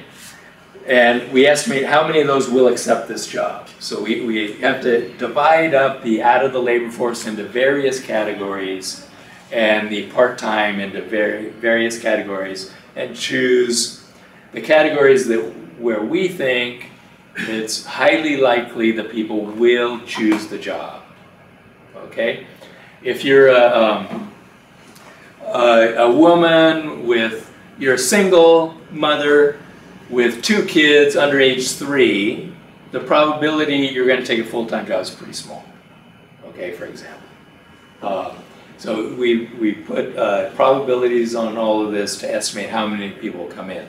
We have a higher bound where more people come in and a lower bound where fewer come in. The higher bound comes out to be about 15 million. So 15 million will come in. Lower bound, I think, is something like 12. The higher bound will be more inflationary because you're hiring more people, and increasing aggregate demand. So that's the one I'm going to report. Then we have simulation with the Fed turned on and the Fed turned off. Okay, what do I mean turned on? Turned on, the Fed raises interest rates to fight the inflation it thinks will occur because of the program. Turned off, the Fed doesn't raise rates. Okay? The, the turned on uh, will lower inflation but increase the size of the program. Okay, why? The Fed can no longer cause unemployment. It can raise interest rates as high as it wants, it cannot cause any unemployment because everyone can go into the program. All it can do is move people out of the private sector into the program, that is, into the government sector. It will completely change the Fed's behavior, I believe. Because right now, what they do is they move people out of the private sector into unemployed. That is what they do. And that's what they're trying to do. They say, we want fewer people working in the private sector, we want them unemployed. So let's raise rates. Now what they're doing is increasing the size of the government. Okay? So if they say there's inflation danger, what we're going to do is move more people into the government sector. Well, politically, that's a very different issue. The private sector say, hold a second. You're going to take our workers away and put them in the government sector? We don't like that. Don't raise the interest rate. I think it's going to change the politics of the Fed a lot. But anyway, we have both of those. Um. So these are the um, the bigger program, but the Fed turned off, which will also uh, reduce the impact on the uh, budget, where the Fed turned off. Um, because the government won't have to pay a higher interest rate on bonds. So there, in that respect, this is benefiting us a little bit, but the difference isn't very big. It's like $30 billion, I think, of uh, not having to pay the higher interest rate on bonds without having the Fed in it.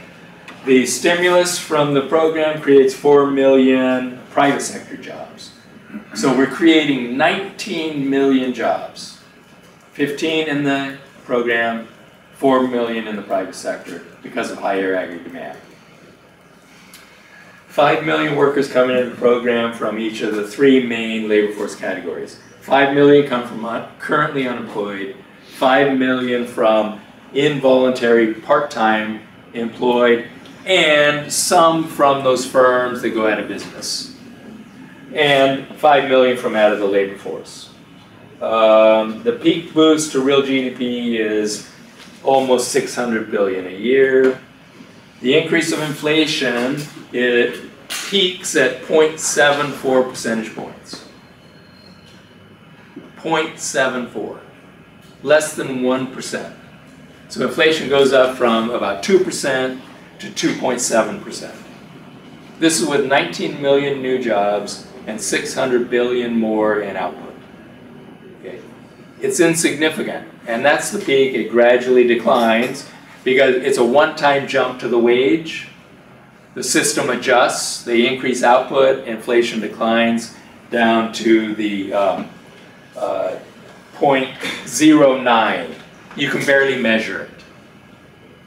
Now this is relative to the base. There already is inflation, right, in the base model. Add the job guarantee, inflation will be a little bit higher in the beginning, and then it declines to really no higher than it was without the program. The federal spending rises, tax revenue also rises, so the net increase in the budget deficit is about 400 billion a year, which is one and a half percent of GDP. Now, of course, we're not concerned about that. Uh, other people are, but it's not that big. The in the past, people have tried to um, project what the impact on the budget deficit would be. Generally, the uh, estimates for a wide variety of countries of a job guarantee program is between 2 to 3% of GDP. Okay, that would be the budgetary impact. Our program, using a well-established model, running a simulation rather than just, you know, doing it on the back of an envelope, comes out to 1.5% of GDP. So this is very small. Now, the model doesn't put in cost savings. So this is without very many of the cost savings you would get of having full employment. Okay? Uh, there's a, we put in a little bit of Medicaid saving. Medicaid is our health care for really poor people. It's not a very good health care, but they get some if you're really poor. So we included some savings there because a lot of those poor people are going to have jobs, they're going to get full health care in this program. We included all of the costs of the health care, but only some of the savings of health care. Um, we didn't include a lot of um, welfare.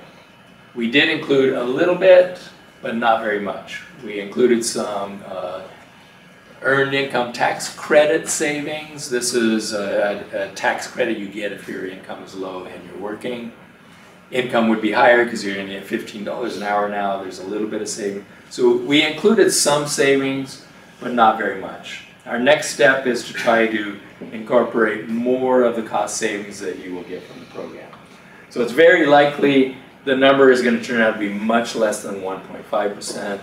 It's not impossible that it's going to turn out to be zero, the net budgetary impact. Now, the health care alone could easily make this program zero. The reason is because in the US we spend 17% of GDP on healthcare. 17%. And the federal government, I believe, is about one third of all of that. Okay.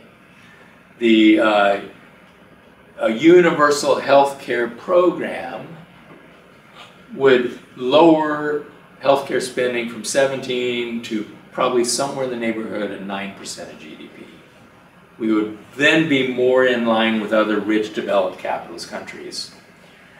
Uh, it could decline even more than that if we can get Americans more healthy than they are, which could happen if you have access to health care.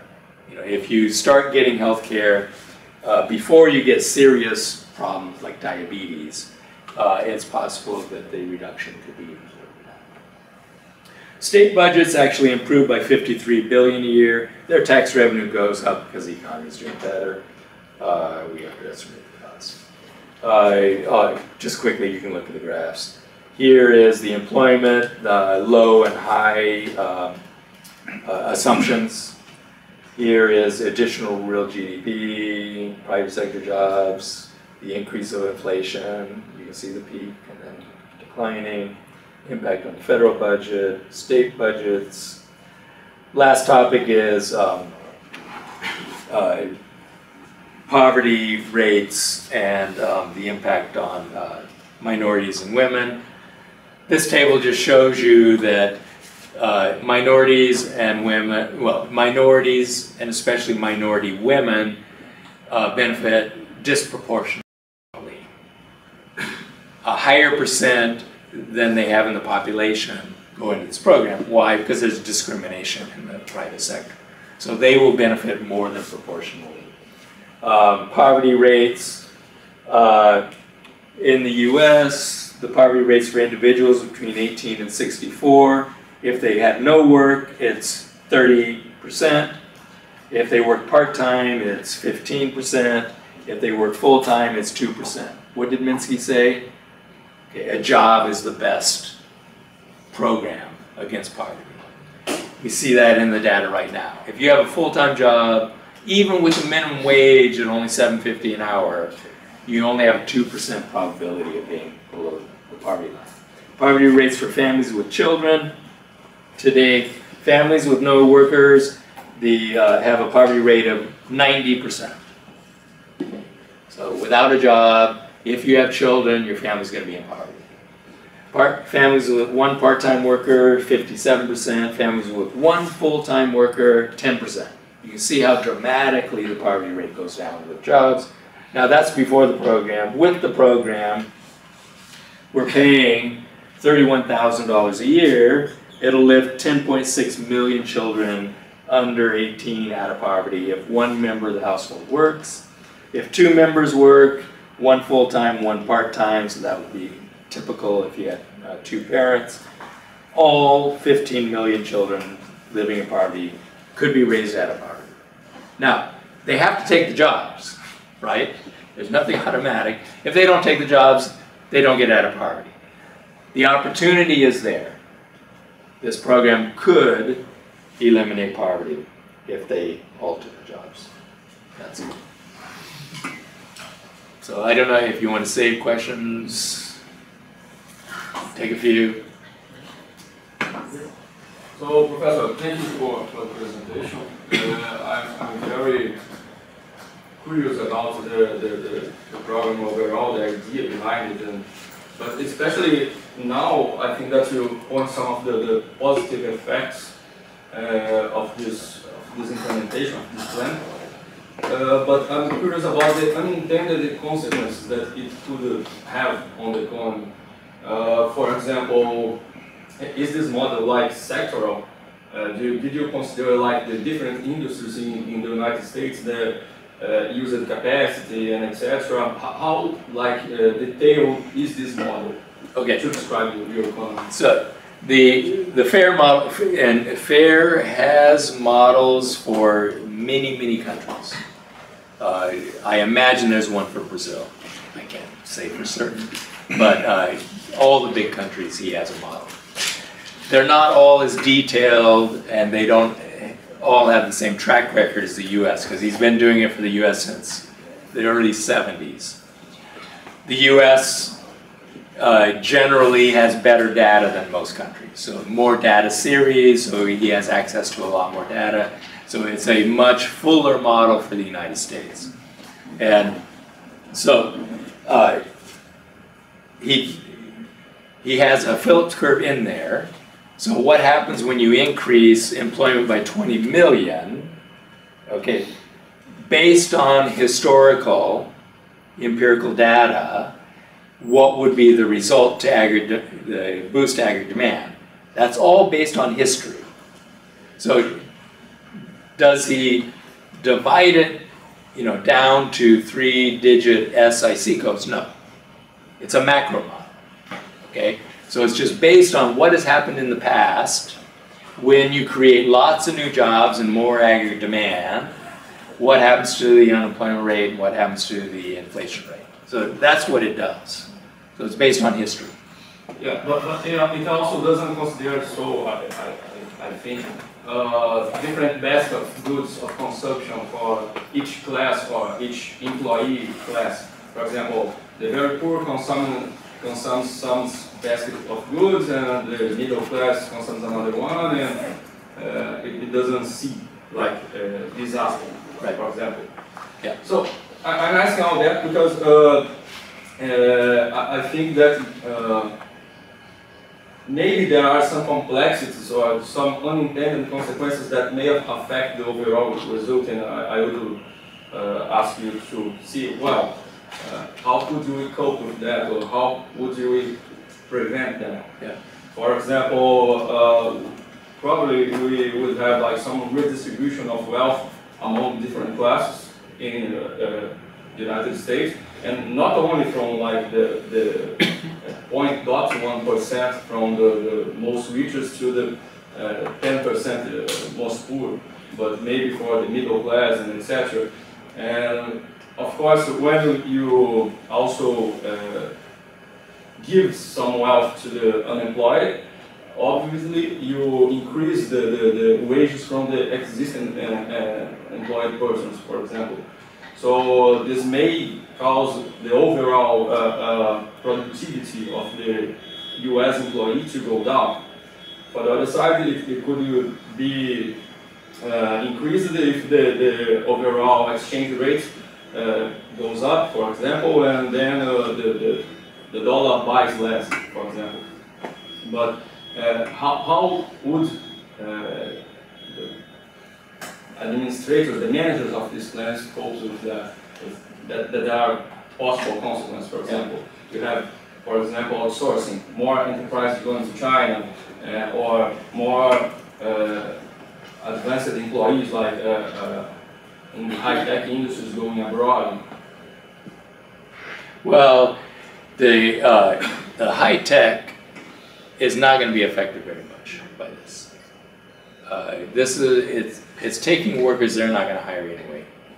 And the, as you raise the wage at the bottom, the firms that are most affected are the ones close to the bottom. Okay, They're gonna have to raise their wages to compete. The, uh, there could be a little bit of an impact, higher aggregate demand, uh, could tighten the labor markets at the top too. So it- it's not directly related to what you're paying. The base wage, the people in the program and the ones whose wages are really close. But the higher aggregate demand could lead to some price and wage pressure at the very top. That's what this model is capturing based on history. Okay, what happens when aggregate demand goes up? What's the impact on wages and prices? And um, the impact is very small. Overall, we're not singling out what happens in every industry. I, I can't answer that question. The model doesn't give us that. Um, but note that a lot of your questions are based on this specific proposal, not the job guarantee. Okay, because you can implement the job guarantee without raising the base wage. We could have said, let's simulate and propose a program that pays seven fifty an hour, which is the current minimum wage. In that case, you're not directly pressuring the wages at the very bottom. Okay? And because you're not removing these people from the private sector, uh, you're, you're not tightening their labor market either. Because they can pay seven fifty-one an hour and hire workers out. They're still available as a reserve army. They're just employed, not unemployed. Um, the boost to aggregate demand, there will still be some. Because if before you were unemployed, you were living on welfare, you were living on uh, relatives and family and so on. Now you have a job at 750 an hour. There will be some boost to aggregate demand. It's not going to be nearly as high as this one. Okay, uh, so a lot of it has to do with where we're setting the wage, and this is a policy variable. Okay, why did we choose 15? Because that is our national movement. That is where we are going. Why did we give them health care? We could have said, no, we're not going to provide health care because the United States doesn't provide health care right now. Uh, in that case, the impact would be smaller. So what I'm saying is, when you implement the program, you can decide how much you want to impact the economy. Okay? This is a very progressive proposal. We are purposely raising the standards. Now, I can't answer your questions based on the model. I can answer your question based on what I believe about the US economy, which is that we have massive excess capacity throughout the economy, and that we will very easily handle this increase. That we've sort of gotten used to operating way below our means. Like a lot, some people say, you're living beyond your means. How can you tell? Well, because we have a budget deficit. That means we're living, no, we're living way below our means. If we look at what the U.S. has been able to do in the past, uh, gearing up from the Great Depression to World War II, what we were able to do in that period, um, we can do again. It's actually much easier now. In the 1930s, the US was a developing country. People think we were a rich country. We were not a rich country. We were a developing country. Huge parts of America didn't have electricity. Huge parts of America didn't have indoor plumbing. Okay. Uh, didn't have schools. The, uh, during the um, New Deal, we built hundreds of thousands of buildings using a, a lot of people who didn't have very much skill at all. We didn't have public infrastructure in large parts of the country. We didn't have highways in, 19, in the 1930s. Um, we didn't have airports all over the country. We have all those things now. Now, they're starting to all fall apart. Okay? Uh, but we can, pretty quickly, we can put them back in order. So our, we live so far below our capabilities. It's very hard to even know what we're capable of because we don't try. When they do, once in a while, a, a government will do a survey and the, they'll have, you know, how much could you increase your production if there was a demand? You find out typically it's about 50%. You know, firms say, yeah, 50%. If the demand was there, what's holding you back? Well, there isn't a demand for it. Um, and then finally, when uh, I go to China and see what the Chinese could accomplish so rapidly, going from uh, you know such a state of poverty and underdevelopment to some parts of their economy most developed on earth so quickly. Why can't a developed country do that? It just doesn't make any sense to me. We have relatively highly educated population. We know how to do things, and we have the resources to do them. The resources we don't have, we can buy. So I think it's perfectly feasible for us to ramp up production to take care of the extra demand that this will generate. The extra demand is, is half a, um, sorry, half a trillion. Half a trillion, I was gonna say half a billion. It's half a trillion increase of GDP. Okay, Can we do that? Yeah, we can do it. I'm confident.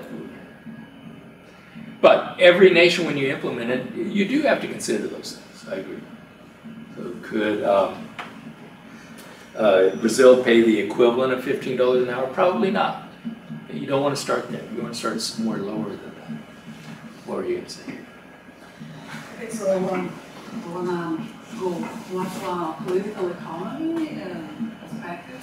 Um, so you mentioned brilliant Kalecki paper, the classic one, and you mentioned that um, there are two uh, uh, problems with Kaletskyism. If you take it from a, a progressive uh, point of view, but I would ask you if uh, you don't think that there is a um, message on, on the bottom of Kalecki's paper that is, um, and how you, you assess that. The message is that, you know, the elite doesn't care about full employment. Yeah. So for them, it's, it's, they just don't care, and uh, on the opposite side, they prefer the unemployment. Yeah. And so this is one thing, and the other thing is a curiosity, um, because you were mentioning, you said that you are on the track of Minsky, and that Minsky wrote and, and researched a lot about poverty and unemployment in the beginning of his career. And also have mentioned, and I've read a lot, that Minsky has a background, an institutionalist background, so before becoming a Keynesian, he was trained in uh, Chicago as an institutionalist. But uh, I'm, uh, I have a curiosity, and uh, I, didn't uh, hear about Minsky, and uh, um, an influence, maybe an influence of uh, Marx in Minsky. So, is there an influence um, in the uh, economic perspective, political perspective? Well, okay, I'll start with that one. So his uh, parents met at a celebration of Marx's birthday. They, they were both Mensheviks. Um, so Minsky was, was raised in a uh, Marxist Menshevik, Menshevik type though home. Um, and he was involved with uh, far left-wing um, political groups. Uh, in California, I don't remember the, the name of it, but uh, he was a member of and uh, gave advice to the most left-wing uh, part of the California Democratic Party, which is more left-wing than most of the states. Um, he, uh, when he was a um, student of Douglas, um, there were uh, some radical groups on campus, and Minsky reported himself that Douglas asked him to participate and keep an eye on them.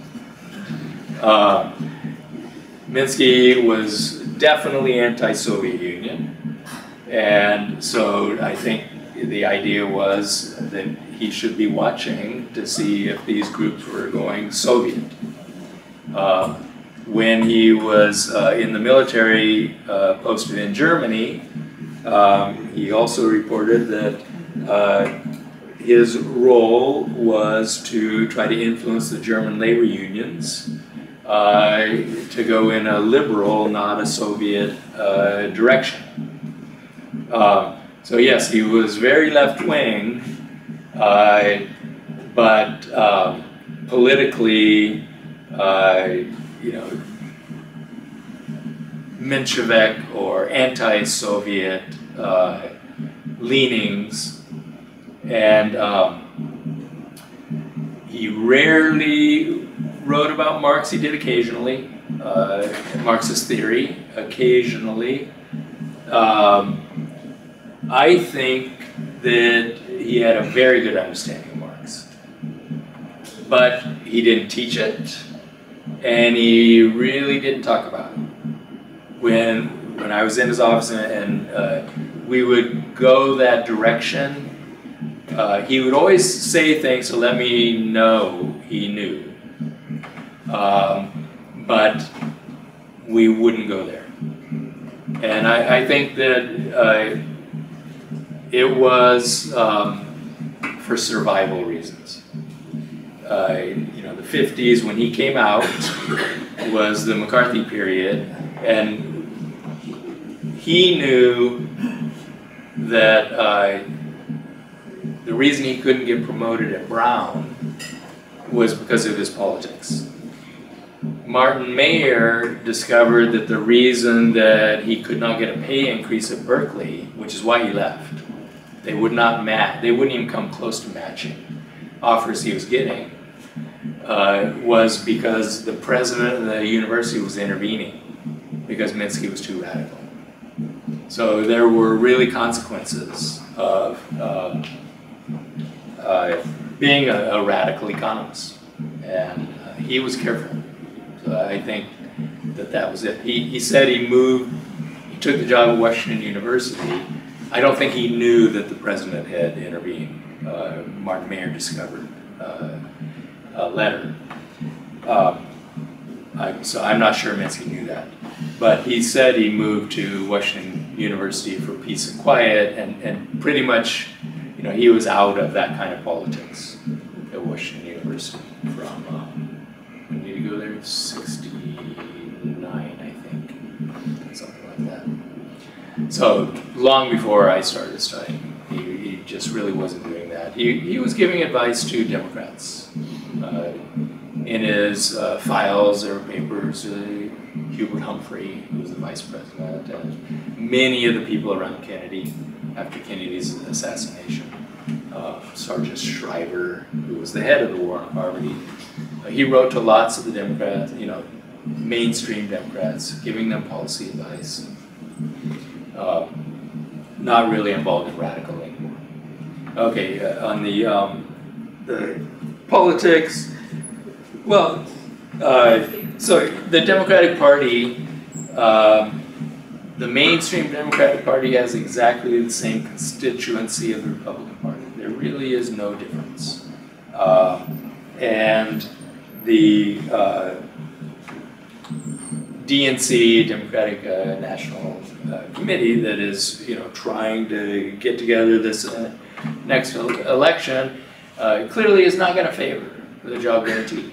Their problem is going to be that, uh, the candidates who are, uh, pretty likely to be the frontrunners will already have endorsed it. No matter what the DNC wants, it's gonna, going to be in the platform. You can't have your main candidate, uh, running against the Democratic Party platform. So it will be in there. Uh, national health care will be in there because these candidates are going to endorse it. The DNC will try to undercut that, just like they did with Bernie. Um, but in spite of what the elite wants and the DNC is trying to pursue, uh, I think the voters are going to revolt. And if the DNC gets its way, I think Trump will win again. If they, if they are able to um, neutralize Bernie uh, again, I think Trump will win. So it's a big risk. And I, I hope that they won't do that. Uh, Bernie's by far the most popular politician in America. And if he's healthy, I think he's gonna run. And whether he wins or not, the other candidates are gonna have to be very close to his proposals. That's why they've all come out in favor of the job guarantee, because they knew he was going to. They came out before he did. It was all rumored that he would, people expect that he will. Um, He, he was waiting to have a very well-formulated uh, proposal. Uh, But they, they all started coming out before he did, supporting the job guarantee. So I, I think that it's, that you're absolutely right, but the problem is the voters are not happy. And they, uh, uh, some of them, you know, jumped ship and went with Trump. There are quite a few Obama voters who voted for Trump. You say, that's just impossible. How could you imagine somebody who supports Obama is going to vote for Trump? But the reason was because they didn't like what the Democratic Party was offering. Okay, you're done? Uh, I have one. Okay, okay? yeah, well, depends on them, not me. Yes, we can, we can stay here until. I mean, in terms of this, this room, this room's gonna be busy at seven because there, there is another class, but Okay, until then. go ahead. Yes. I'm, I'm aware of the importance of an immediate application of such a uh, job program, but I'm also concerned of the long, long run possibilities for such a program. You've mentioned uh, David Graeber's work. I'm very fond of his approach on OSHA jobs. And I'd like to know if there's any prospect of affecting these kinds of jobs. Uh, I understand its goal is to combat unemployment right now in the best way possible. But thinking of the possibilities for our grandchildren, is is it being considered, uh, the usage of such a program to reduce working hours for Sure. example? Wha- Whatever this program offers is gonna have to be matched in the private sector. So yeah, the, um, you're raising the wage and providing healthcare and childcare. That's what our proposal does. If this program provides childcare and that's important to you and the private sector won't give it to you, you can vote with your feet and move into this program. It's gonna pressure the private sector to provide childcare. It's gonna pressure the private sector to provide, provide healthcare. We thought about putting two weeks paid vacation in this program. Believe it or not, the, in the United States, there is no such thing as required vacation or paid vacation. It Doesn't exist in the US. Put it in this program, there will be pressure on that. Anything you put in the program. Reduce the workday to six hours. If this program does it, you know, without reducing your pay, if this program does it, the private sector is gonna have to follow. So this is how you implement those things. You don't require it of the private sector, you just offer it in this program. Uh, so I think politically it's a little bit easier, but of course it's gonna, the business sector is gonna rise up, gonna put us all out of business if we had to give health care. Okay, something like that. Which could well be true, I'm sympathetic to that argument. What's the solution? The government has to provide health care to everybody, right? The private sector will demand it. They say, look, you're giving it to these workers, we can't afford it. Suddenly there will be a movement by the private sector for national health care. I, I, I predict that absolutely will happen. If this program, if a bill is passed, there will be immediately a movement by the business sector for national health care, and we'll solve that problem. We'll just take it out of this program, everybody will get it. Um, same thing with everything else you mentioned, you know, reducing the work week, there will be a movement for it. If this gets it, the private sector is going to demand it, because the workers will demand it. So that, that's how you improve uh, the labor standards all over society. The crappy jobs, who will take them? If the job is really crappy, who's going to take it? They're going to go into this program. Okay? So if you have jobs where people feel like they're doing something useful, they're doing things for their community, they, they go to work and feel proud of what they're doing, who's going to want to flip hamburgers? Probably nobody, which is good. Either people can stop eating hamburgers or robots can do it. Which is, you know, robots easily could do this work, so that's what will happen. So that's how you um, make jobs better by giving good jobs here. That's why I said good jobs and good pay. Jobs have to be good. So people will say, well, how can you guarantee all these jobs will be good? I can't guarantee they will all be good. What is necessary is that you have um, community service organizations that are committed to what they're doing. They will create good jobs. There will be pressure on the other providers of these jobs to also do something useful. So it will come from the ground up. They will force people, the, the job creators, to be creative, to do things that the community really wants.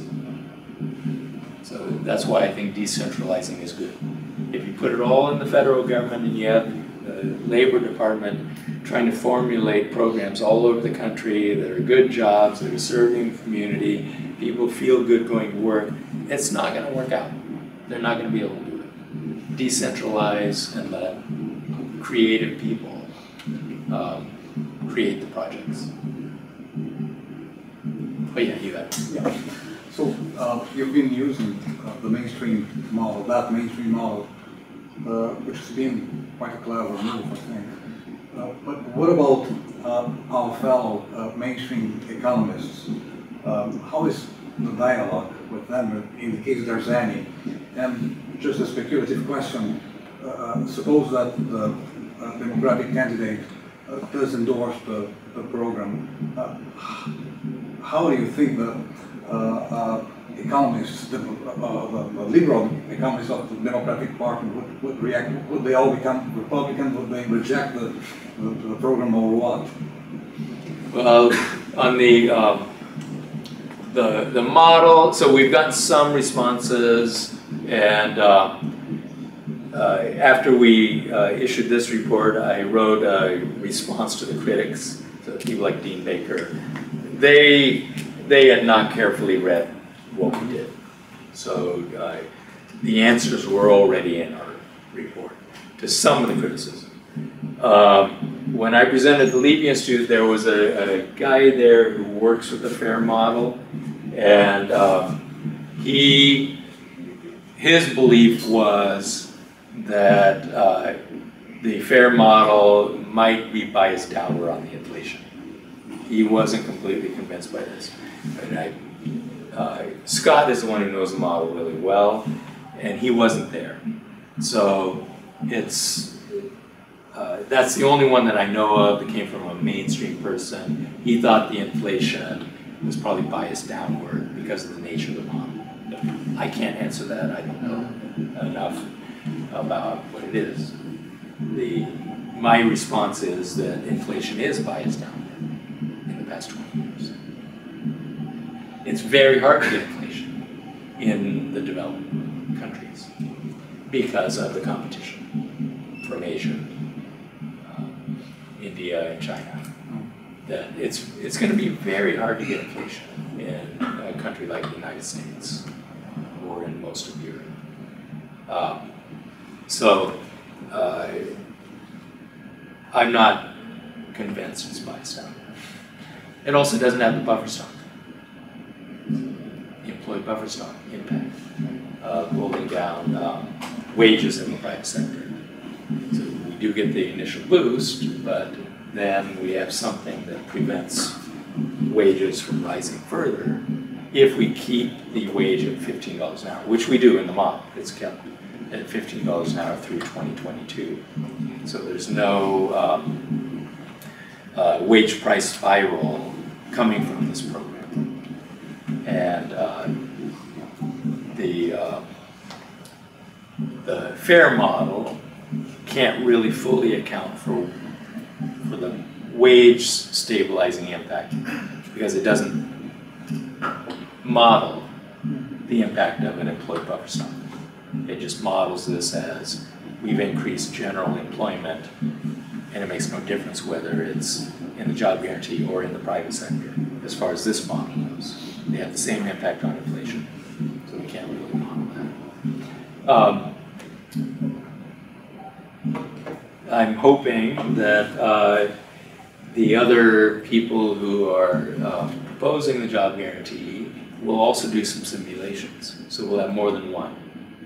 And hopefully they'll use something other than fair, so that we can try to, uh, uh, you know, do a compare, compare and contrast the outcomes using different models. Right now, this is the only one.